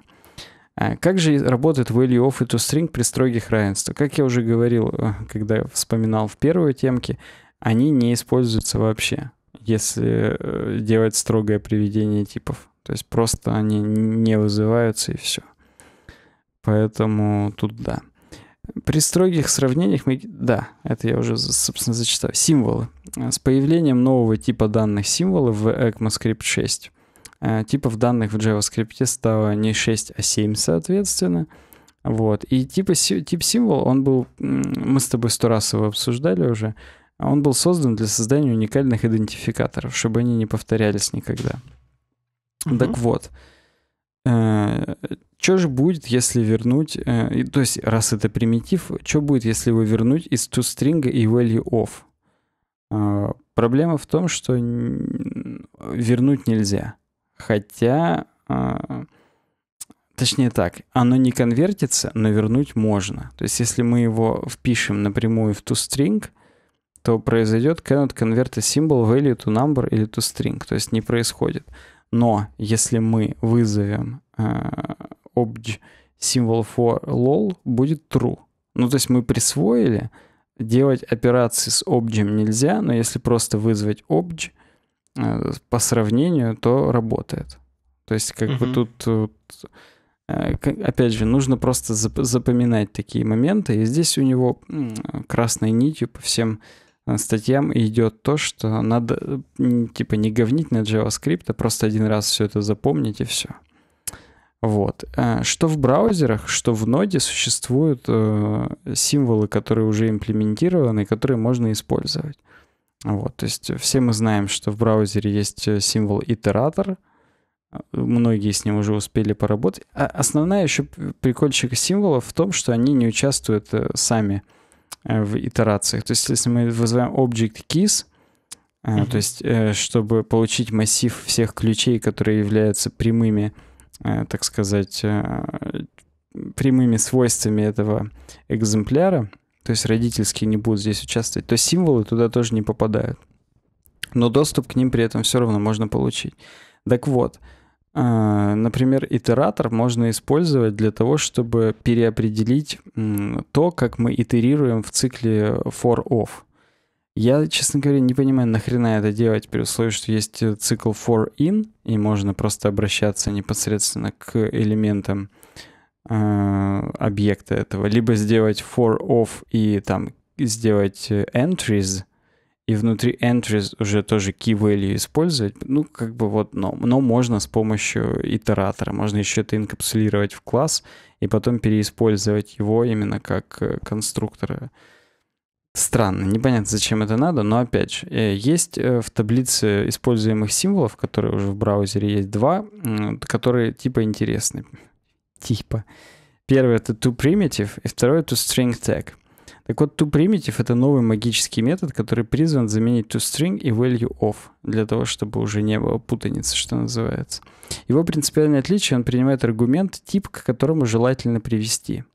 То есть э, внутри Соответственно, toPrimitive мы описываем, что если в нем есть hint, например, number, string или default, то возвращать разные значения. И, соответственно, мы э, в какой-то объект э, в символ toPrimitive можем написать, что если используется число, будет использоваться числовое приведение, возвращать такое-то. Если строковое, то такое-то. Если дефолтное, то есть логическое, возвращать true. Ну, здесь несколько примеров, на слух хрен их воспримешь. Вот. Uh-huh. Но, соответственно, если реализован метод toPrimitive символ, то toString и value_of не вызываются. То есть с помощью него удобно э, показывать поведение своих, собственно, классов, которые, а точнее, своих объектов, которые могут быть там, ну и экземплярами класса, в общем-то, в том числе. Опять же, если мы хотим какие-то символы зашить в свой класс и делать объекты как экземпляры этого класса, везде будет именно э, такое поведение, допустим, у символа toPrimitive. Так вот, если, э, да, я уже сказал, если реализован toPrimitive, то toString и value_of не вызываются, а точнее наоборот. Value_of — это алиас от toPrimitive. При этом явный вызов будет передавать тип хинтинга default. То есть если по умолчанию вызвать value_of, но он не описан, а описан toPrimitive, то вызовется toPrimitive с хинтингом default. Вот, вот uh-huh. такая вот хренотень. Вот. А если явно вызовет, вызвать toString, то будет вызван метод родителя, а toPrimitive вообще не будет участвовать. Поэтому, ну, как бы не совсем понятно, нахрен их тогда отдельно вызывать. Вот. Но, тем не менее, если... Э, так, сейчас я смотрю. Если их переопределить непосредственно в объекте, как toString и value_of, э, то, их, а то они вызовут только если их вызвать явно ну, если при этом toPrimitive там тоже есть как символ. А если использовать просто логические там операции сравнения, там, плюсики, минусики и так далее, то все равно будет вызываться toPrimitive, даже несмотря на то, что toString и value_of э, тоже явно указано. Так вот, теперь здесь написано, как э, сделать так, чтобы был объект, который ведет себя как date. Можно как раз с помощью toPrimitive это сделать, указать, что внутри э, при хинте number мы возвращаем this value of именно явно из этого объекта, а при типе string вызываем this to string. Ну, соответственно, и при типе string, и при дефолте. И у нас получится, что для числовых операций себя объект ведет как... Ну, то есть будет происходить именно числовое приведение.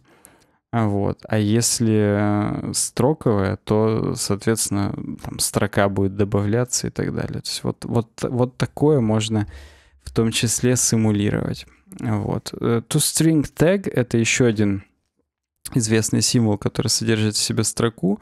Вот. И там, соответственно, будет тег, который вводится при дефолтном вызове toString. Например, э, object string, object array, object number, ну и так далее. Object object, который мы все при этом э, привыкли видеть, когда там дебажили что-то и так далее. Так вот, его можно переопределять Например, даже для своих классов. То есть мы можем сделать класс валидатор класс, создавать объекты как экземпляры его, в которых toString tag будет возвращать э, валидатор. И, соответственно, будет выдавать не object object, а object валидатор. Вот. Ну и туда, соответственно, можно записать какую-нибудь информацию типа JSON stringify this. И мы будет выводиться object, и за э, строка в JSON, ну, то есть JSON, переведенный в строку здесь. То есть будет э, очень прикольно дебажить. Ну, не совсем понятно, зачем это надо в том числе. То есть, опять же, если... Ну, то есть, это нужно знать просто, опять же, чтобы владеть JavaScript, понимать, что как устроено и так далее.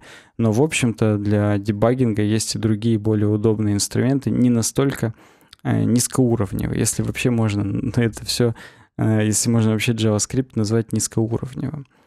Вот. Ну, соответственно, у Node.js есть свои символы, например, inspect. Вот. Ну, тут это даже не inspect, а именно метод, магический метод, вот, который, соответственно, тоже будет именно при консоли вызываться. То есть, если мы сделаем util inspect custom, то тогда при консоль логе объекта будет выводиться то, что мы в него здесь записали. Ну, то есть, опять же, Э, по идее, там можно дополнительную строку какую-нибудь зашить, типа там э, время серверное, что-то еще, и потом уже непосредственно сам объект вывести. То есть там, ну, добавить какую-нибудь хреновину именно для дебагинга, поэтому э, тут да. Ну и, кстати, если вдруг вы не хотите там как-то за замешкаться, то можно это отключить через util inspect default options custom inspect false. Даже если вы его после этого сделаете, то, ну, то есть переопределите в объекте, он все равно не сработает, потому что вы в настройках поставили, что он э, не должен работать. Короче говоря, вот, вот, вот такая зубодробуха у нас получилась. Александру Майорову спасибо. На самом деле, я вот сейчас, э, когда вам На самом деле, я просто понял, что он решил наш подкаст в минутку GS превратить, или как он там, как у него? Ну не, у него радио GS. В, вот, в радио GS, да. Ну, собственно, у него это получилось, да. То есть он практически, он, он как бы забрался к нам паразитом в систему. А, оставил здесь продукты своей жизнедеятельности да, и покинул да, полураспада, я бы даже сказал. Вот. Ну, ставьте плюсики, пишите комментарии, если вам такое нравится. Хотя, честно говоря, я не представляю, как это на слух вообще воспринимать. Вот. А мы в первую очередь все-таки подкасты. У нас сейчас именно все больше и больше именно аудиоплощадок добавляется на наше покрытие. Вот. Поэтому, конечно, я, я не знаю, как это воспринимается на слух. Напишите в комментариях, как вам это воспринимается на слух. Вот, пойдем дальше. Давай. А Или там Никита хочет сказать. Типа, знаешь, я слушай, хочу... вот 8 минут назад не согласен с тобой был, ты там ошибся. Не 2, а 3. Я, слушай, мне просто нравится, что Майорич, он помимо того, что м- подкасты пишет, он еще и статьи пишет. То есть он, возможно, поэтому и прерывается в том, в который нерегулярный подкаст, потому что он в этот момент статью пишет. Вот, это я ну, хотел да, отметить. согласен. Этому только у него поучиться следует. Я тоже вот все, я в беседах на диване себе сказал, здесь еще раз повторю, что хочу написать э, статью на Хабр про Vue, и именно как я с api работаю, как я там в стейте храню там методы для доступа к api и так далее. Просто даже э, хочется послушать, что умные дядьки скажут, хотя я хотел бы послушать, что умный скажет, я бы на Reddit это выложил, а не на Хабре. Неважно. Не, нет, дядьки. Если бы ты хотел дядек послушать, ты бы на Reddit. А если ты бы хотел молодых пацанов, так а, сказать, ну, да, на Хабре. Да, то можно и на Хабре, согласен. Да, да. Так, ну следующее у нас опять Давай. мое. Вот, угу. там, Жирныч. Да, там э, Крис Койер написал с первого раза. Почему с первого раза? Потому что написано, что опубликовано 22 марта, и исправлено mm-hmm. тоже 22 марта. То есть не, не возвращался он с тех пор к, к этой статье. Вот, может и правильно. Статья про ссылки вида Mail2. Это те, которые сразу открывают почтовую программу для того, чтобы написать э, письмо. Угу. И это, это, это очень интересная статья, опять же, оказалась. То есть она, я этого всего не знал. Вот, а теперь знаю. Так вот, э, что касается UX, э, он считает, что во многих случаях mail-to ссылки, они э, конфьюзят людей. Uh-huh. Ну, то есть, типа, ты жмешь вроде бы просто ссылку, а у тебя что-то другое открывается. Или там на мобилке у тебя вообще там всплывает. Вы уверены, что хотите открыть эту ссылку в программе там почта? Uh-huh. Или там что-то типа того. Типа это полный отстой. Вот сразу хочется с места в карете спросить, ты считаешь, что полный отстой или нет? Давай подумаем. Но вообще это немножко может обескураживать. Потому что у тебя, знаешь, это же редкая ссылка вообще, в принципе. Это редкая вот такой момент, когда ты нажимаешь на такие ссылки, и у тебя появляется вот такая хреновина, она сразу начинает, знаешь, ржавчина, скрипеть начинает, мох весь вот этот, э, короче, опадает с нее, ну, потому что такой, да, ты сторону, редко такое нажимаешь, конечно. в чулане включил, в темном да. таком, да. И это немножко тебя конфьюзит, не по, даже не потому, что ты вот э, такой охренеть, а потому что именно ты это очень редко нажимаешь. С другой стороны, вот раз ты уже такой тупой, раз ты уже нажал на ссылку, которая ведет тебя как бы на мыло, то вроде бы должен понимать. Но зачастую ты как бы, когда в интернете сидишь, тебе похрен. Ну, ты сидишь, короче, абсолютно в своем мирке, думаешь, что ссылки должны просто открывать новую вкладку. Вот. Эм, а тут, оказывается, вот такую хреновину открывают. Ну, не знаю. Я, я против не имею точно ничего. Тем более, что круто, когда Mail2 э, работает на телефоне, и круто, когда ты можешь сразу написать, хоп, тебя сразу туда в мессенджер кинуло, в смысле, точнее, в почту тебя кинуло, и mm-hmm. ты балдеж сразу написал туда что-нибудь, например, на worksobaka.ubzen.ru. Вот Удобно? И, э, мне тоже нравится. Я, у меня тоже скорее положительные впечатления, чем отрицательные. Вот, но неважно. Э, Крис Койр говорит, что у него отрицательные. И это, угу. говорит, это ты так же говорит, тупо, когда ты жмешь на PDF-ку, а она не скачивается, а открывается в отдельном окне. Вот это тебя бесит или нет? Хотя это менее. Меня это еще менее бесит, вот потому именно. что это вообще тоже, классно. Потому что иногда сразу даже не начинаю. хочется скачиваться, да. Хочется сразу посмотреть, стоит ли оно того, чтобы э, запустить тебе к себе в загрузки и оттуда уже потом удалить. Ну, то есть реально, это, ну, это даже меньше действий. Какой-то он то ли консервативный, я не могу понять, то ли наоборот он нон-конформист какой-то да, вообще. То ли абсолютно. мы просто, то ли он опередил ли время, и нам потом тоже опротивит, но мы пока еще об этом не знаем. Э, вот. Ну, короче, он нам советует всегда использовать target blank на такие ссылки. А почему? Потому что иногда бывает дефолтный email клиент это именно браузерный Gmail. Ну, то есть в Chrome, например, можно сделать, чтобы именно браузерный Gmail открывался. И тогда ну, а в чем это? Что? Это, чем? это, это, это норм тогда? В смысле, это же хорошо. А нет, это хорошо. Он именно говорит, что именно в этом случае лучше сделать target blank, чтобы реально открылось в отдельной вкладке. Потому что вообще-то, опять же, Крис Койер, он противник target бланка. То есть это типа плохой, опять же, опыт э, user experience, потому что, ну, типа, юзер привык, что в одной вкладке открывается. А когда именно ты открываешь в отдельный, такое ощущение, что ты хочешь, чтобы у тебя дольше на сайте люди оставались, и это бесить всех начинает. Но именно типа на Mail.to ссылки он говорит, что target blank это норм, потому что ну, блин, иначе вообще реально человек запутается, не поймет, какого хрена произошло. У него только что был сайт CSS Tricks, а тут хоп, и Gmail открылся. Запукается. Ну погоди, а если у меня не Gmail настроено, а если у меня просто там почта виндовская, то Тогда Target Blank ничего и не изменит. Она все равно откроется просто и все. Ну то есть, подожди, а откроется бланковая откроет, страница? Откроет, откроет, я пробовал. Ну так это же... Подожди, так... нет, пустой бланковый не будет. Нет, он а, просто ага. откроет э, также программу. То есть для тех, у кого про прога, для них вообще ничего не изменится. А для тех, угу. у кого именно браузерный, у тех хотя бы вот, откроется в отдельной ссылке. Поэтому типа в 100% случаев лучше добавлять таргет бланк. Ну это в натуре тогда помогает. Согласен. Ну, да, согласен. Так вот, дальше больше. Есть get параметры, оказывается, у таких ссылок. Можно указать subject и body. И, соответственно, когда ты на такую ссылку жмешь, уже будет предзаполненная тема и, и тело.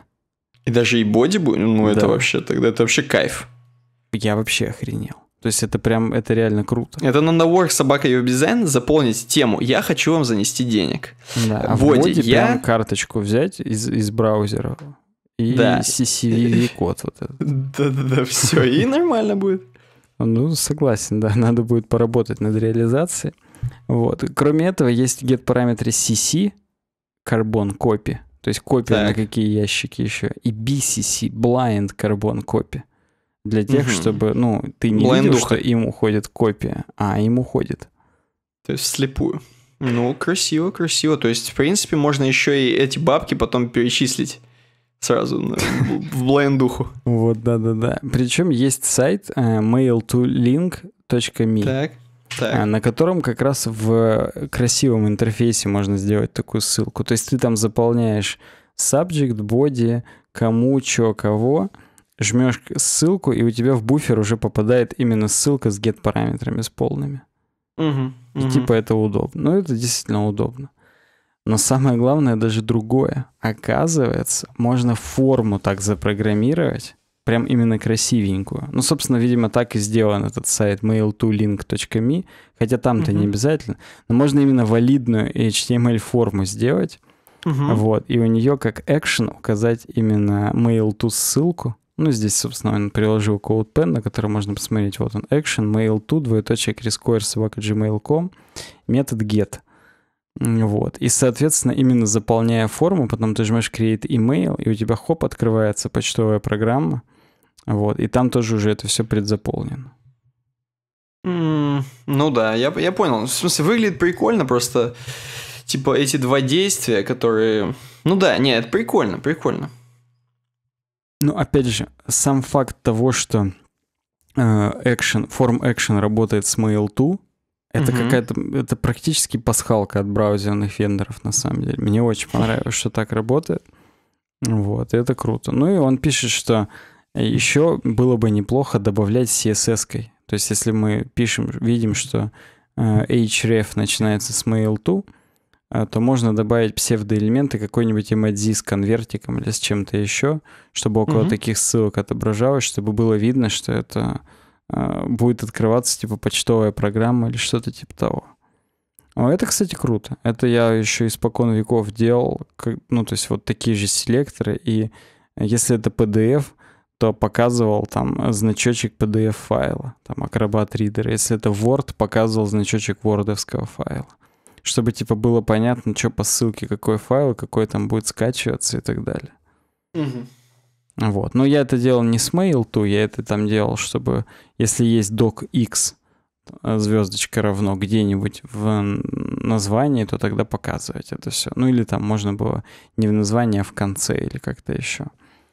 Вот. Ну, короче, оказывается, даже есть браузерное расширение I hate mail 2, э, которое все такие ссылки переделывает на... Причем она их не просто отключает, а переделать, чтобы по нажатию на нее у тебя в буфер обмена копировался email адрес. И ты уже дальше с ним что хотел, то и делал.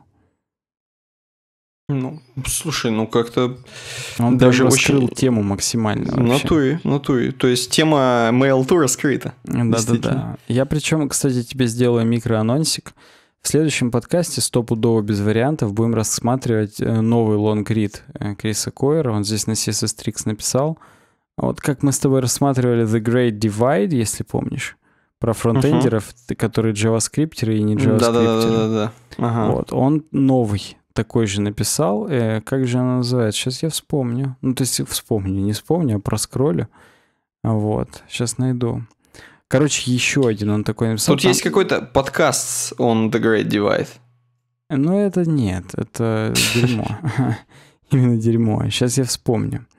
А, я его видел там 5 марта или какого-то такого она была, хотя тут до 5 марта еще скроллить и скроллить на самом деле. То есть тут у них так-то контента вообще до хрена. Ну, в общем, я в Trello к нам закинул, а, не потеряется. А все правильно, не будем раскрывать, чтобы будет... наши чуваки не прочитали.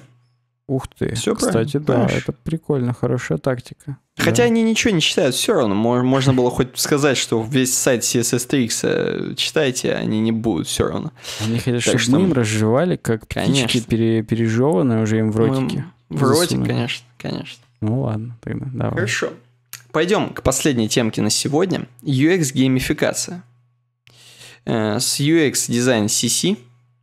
Такая темка достаточно ну, не то чтобы пространная, не то чтобы общая, но такая, не то чтобы очень глубокая.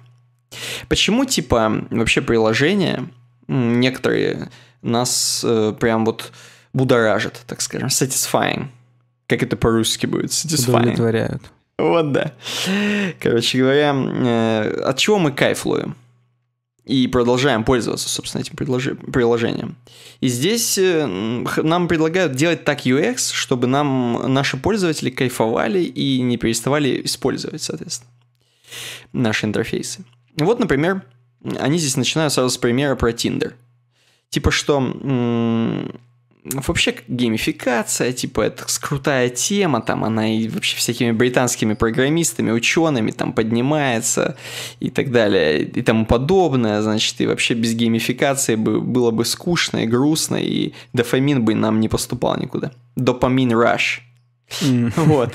И, короче говоря, сразу перейду к э, Тиндеру, собственно. Там очень классно сделано то, что у тебя есть некая цель, то есть как бы найти партнера, скажем так, найти матч свой, Угу. Вот. И тем самым очень простое действие, которое вот этот вот свайп вправо-влево, то есть э, залайкать или отказаться от чувака или чувихи, Соответственно, это просто простое действие, которое ты делаешь много ну, миллионов ну, раз. нашего подписчика в основном чувака, так ладно. Ну да, да, да. Вот, делаешь много миллионов раз, потому что у тебя есть какая-то цель. И тебе несложно делать это действие миллион раз, и тебе классно аж.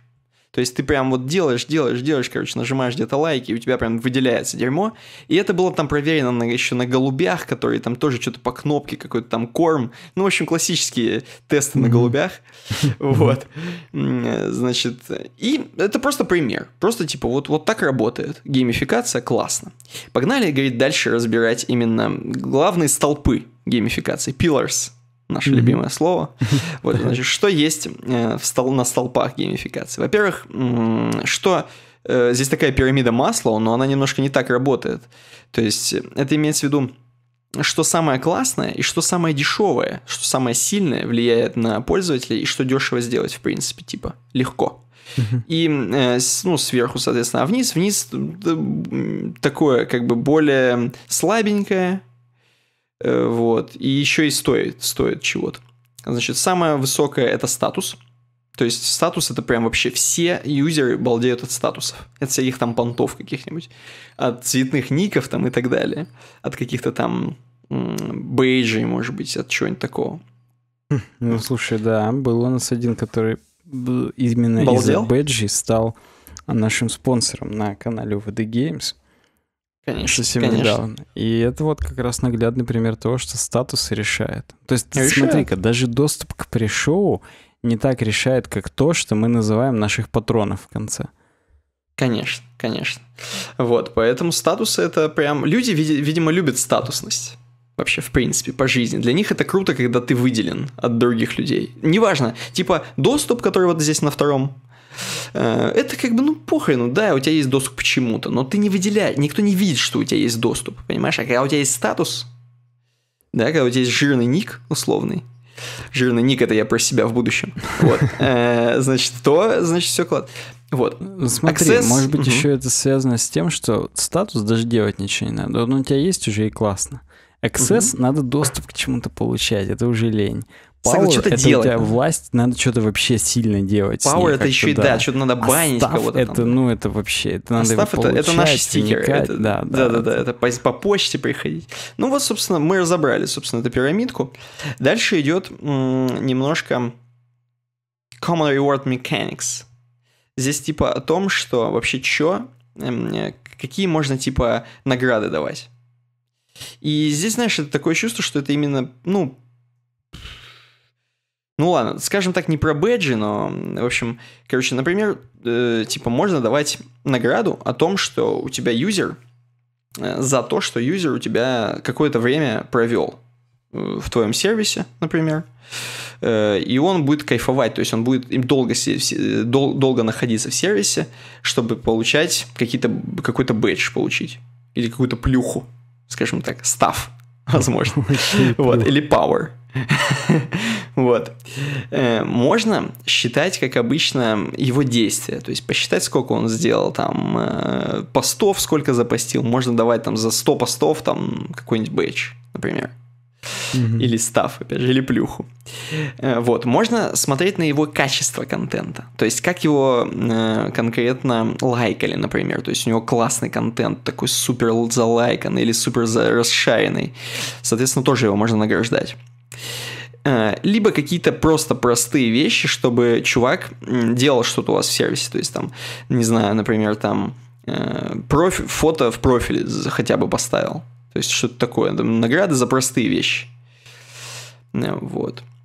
Слушай, Окей. это вообще гениально, это даже прям прикольно. Я вот сейчас прям ты рассказываешь, и мне сильно нравится. что, что тебе нравится? Дальше про Reddit, про любимый. Здесь они рассказывают, что Reddit типа премиум, они сделали тоже вот такие вот реворды, если ты... Там есть какой-то премиум, я вообще не знал, что есть на Reddit премиум, там можно что-то какие-то заплатить Конечно, 6 баксов. Что, там именно можно покупать монетки и давать именно серебряные, золотые монетки и отмечать За посты, именно посты. Да, да, да, да, ну, да. короче, вот это все тоже у них сделано, то есть у них полностью отработан этот э, вообще все, все у них круто сделано по геймификации. Эм, так Ладно, пойдем. С них примерно надо брать. У них там комьюнити вообще. Согласен, согласен, согласен. У них классно, у них классно. Можно на них смотреть, равняться. Э, awards and trophies. Короче, здесь просто рассказывается, опять же, какие бэджи можно навешивать. Тут на Reddit написано, что вообще, типа, люди любят эту тему, механику, как бы, наград и трофеев и что можно за всякое давать. То есть, например, вот э, даже за простое, просто что-то new user, у тебя уже будет трофей, что-то new user, как бы бейдж. Или, например, вот verified email address. Или у просто люди любят есть. собирать. У меня есть у меня... verified email address, и у меня fourth year club. Типа что, ну ты видишь, mm-hmm. там он есть two year club, вот у меня four да, year да, да. club. Вот, вот, то есть, э, а что там на four нарисовано? Давай посмотрим. Я, правда, сейчас только что как раз смотрел, и зрители мои видели, мои именно, твои не видели, мои, а наши зрители видели. Мои а слушатели, потому что... Сейчас скажу, что на четверочке. А там э, четверка в виде какой-то газетки сложенной, что ли. Не знаю. Я давай я в наш Slack закину. Именно в, я не знаю, в рендом. Давай, давай. То есть ты хочешь соблюдать еще? Ну да. Давай, у нас там вот вижу, там, вижу. Там именно вот в таком же качестве. Но есть что это понять невозможно. То ли, знаешь, когда ремонт делаешь, шапочку из газеты на голову, пилотку надеваешь, то ли какая-то птичка. А в натуре, кстати, может быть, да. Это какая-то шапочка, четверка какая-то, да. Прикольно, прикольно. Э, слушай, ну меня это не так поражает, вот на Reddit эти бейджи. А вот дальше, дальше, вот это, вот дальше у меня более-менее привстал. Snapchat. Еще что ли там? Что да, да, Snapchat, mm. короче, там гений вообще. Они, короче, вот эти эмодзи, которые можно в Snapchat пилить, видимо, там, ну, на какие-то их сторисы, на какие-то их видосы, там, знаешь, э, в Инстаграме можно э, прикреплять, типа, эмодзи, там, большие вот эти здоровые, там, типа, как, как стикеры такие на, на свои видосы. Ну вот, Snapchat, видимо, там еще более пророщено, там mm-hmm. вообще до свидос, что можно делать. Соответственно, можно эмодзи. И эмодзи, они не сразу все открыты, вот эти вот. А, они у тебя открываются, пока ты что-то делаешь. И ты вот проскролли, здесь есть прям, вот, допустим, телефон, телефон у тебя открывается только тогда, когда ты verified phone number сделаешь. То есть ты сможешь mm-hmm. использовать это эмодзи у себя на этих. Или, например, там, я не знаю, ну, то есть тут гениально. Панда, например, панду, именно морду панды можешь использовать, когда 70, ой, 50 black and white э, снэпсов сделаешь. Прикинь? То есть тут прям жизнь, надо, надо прям именно жить в Снапчате, чтобы тебя открывались вот эти стикеры, э, стикеры эмодзи, которые ты можешь использовать потом на своих сторисах прикреплять. Вот, я, я именно забалдел от этого дерьма, что, допустим, типа, the camera э, 7, 10 times in one video snap. Прикинь? И хоп, у тебя открывается рефреш. Это круть, это круть. Ну, блин, я забалдел. Ну, у меня тоже, да, прям привстает. Вообще, я согласен.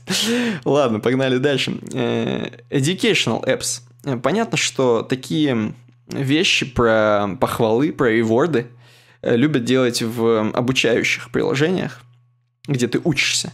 И там это в основном такие реворды, которые сделаны не для комьюнити, а для тебя – ты сам балдеешь от того, как ты занимаешься в приложении, как ты прокачиваешься, чтобы тебе было интереснее э, как-то пользоваться сервисом, получать знания. Соответственно, mm-hmm. там постоянно тоже эти колоночки, это все вот накапливается, у тебя там отмечается, то есть это тоже стандартная тема. В принципе, вот такие типсы и триксы. Ну, как тебе? Блин, мне вообще сильно понравилось. То есть я прям даже возьму что-то на вооружение на нашем редизайне в веб-дизайне. Я надеюсь, что у нас снэпы надо будет. Дизайне, да. да. Я надеюсь, что у нас снэпы надо будет отправлять просто там самой. Это мы отдельным юзерам дадим такую возможность, самым красивым, да? Согласен, согласен. Нам не надо некрасивых. А, вот. Ну, это круто. Это реально прям очень здорово. Мне, ну, слушай, извини, но мне на Reddit больше привстал, чем на снэпах. Да? Ну ладно, извини. Ну, это, это и хорошо. У нас нет конкуренции, так сказать, за...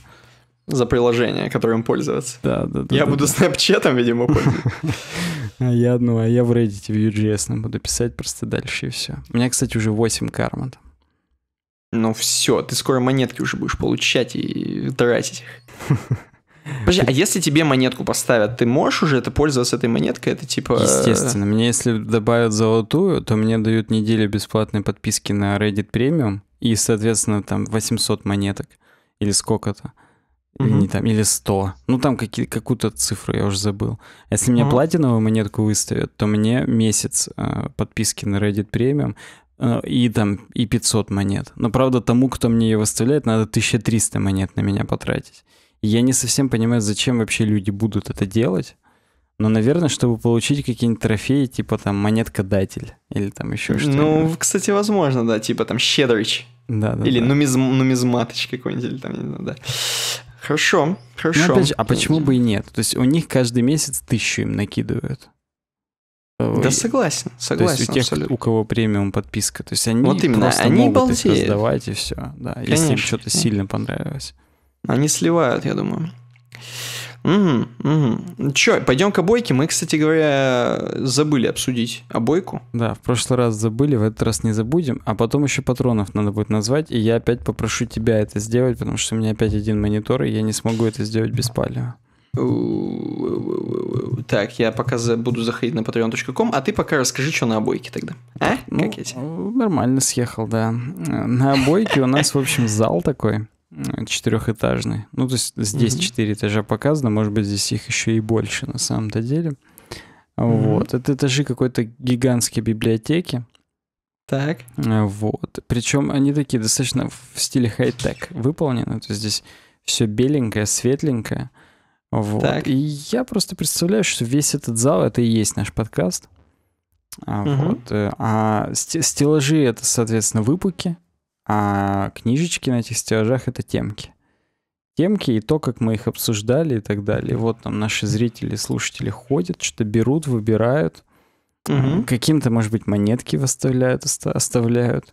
Каким-то что-то как-то еще. И я считаю, что даже как-то это воодушевляет. У нас прибрано чистенько в подкасте. Много Ну да. этажей, опять же.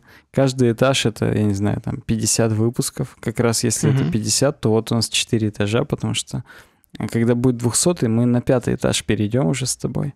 И там до нас, в Хм. принципе, уже будет даже и не доплюнуть, я считаю. Согласен, согласен. Так Мне что- тоже понравилась обойка, потому что она такая светлая, легкая и такая именно на деловой лад настраивающая. Вот. Ну да, да.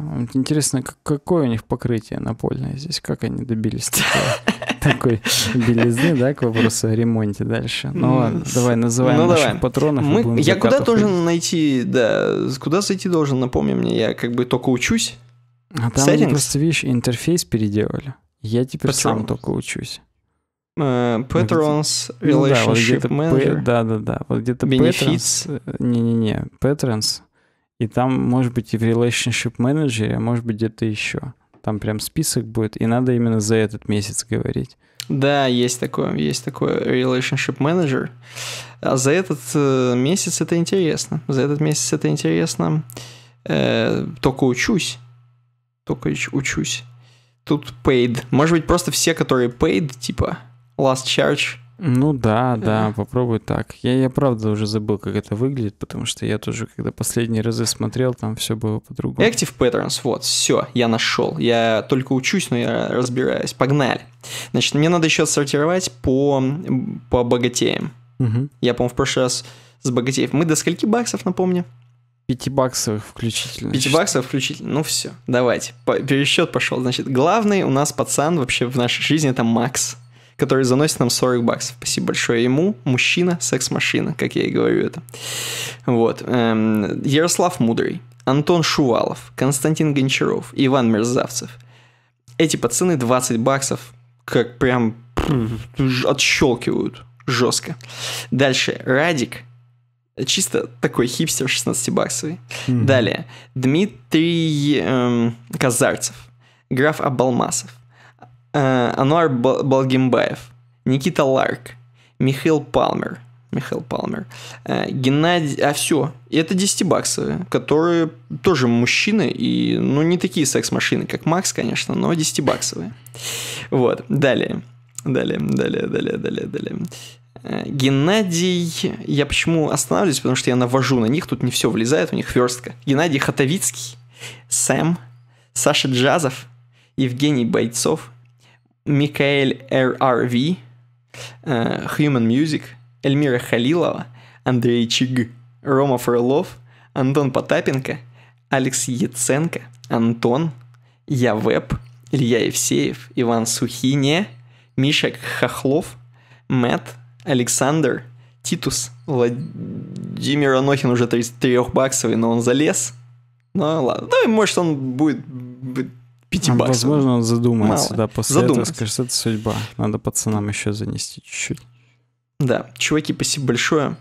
Вас так много, и вы такие классные. Спасибо, Прям... да. Еще чуть-чуть, и нам отдельный подкаст надо будет выпускать именно для того, чтобы вас всех Для зачитать. патронов. Да, да, да. Нет, я имею в виду даже просто, чтобы вот э, всю зачитку покрыть, это уже просто выйдет за рамки дозволено. Э, дозволено. Это отдельно 30 минут будет только об этом. Поэтому вы классные, спасибо большое, спасибо. Да. Ну что, прощаемся тогда? Ну Всем да. Прощаемся. удачной недели. Я, я думаю, что мы не будем прерываться. Вот. Я, я тоже ничего не предвещает, по крайней мере. Поэтому, да? Тут, да? да, то есть на финишной прямой к 200 я это назову. Да, продуктивной всем недели. Спасибо всем за внимание. Подписывайтесь на соцсетях, оставляйте везде отзывы, пишите комментарии. Любая обратная связь это классно. Нам только, только она нам и помогает творить дальше и делать. Потому что если никто ничего не будет писать, то как-то скучно. Даже если просто люди будут безмолвно заносить деньги, это и то будет полный отстой, потому что надо, чтобы писали, чтобы что-то говорили, а то вдруг это будут э, нарко деньги какие-нибудь нам присылать. Нам такое не надо. Нам надо, чтобы все хорошо было и классно, весело и задорно. Поэтому да. да. В общем, подписывайтесь. Увидимся через неделю. Всем пока. Спасибо. Пока. you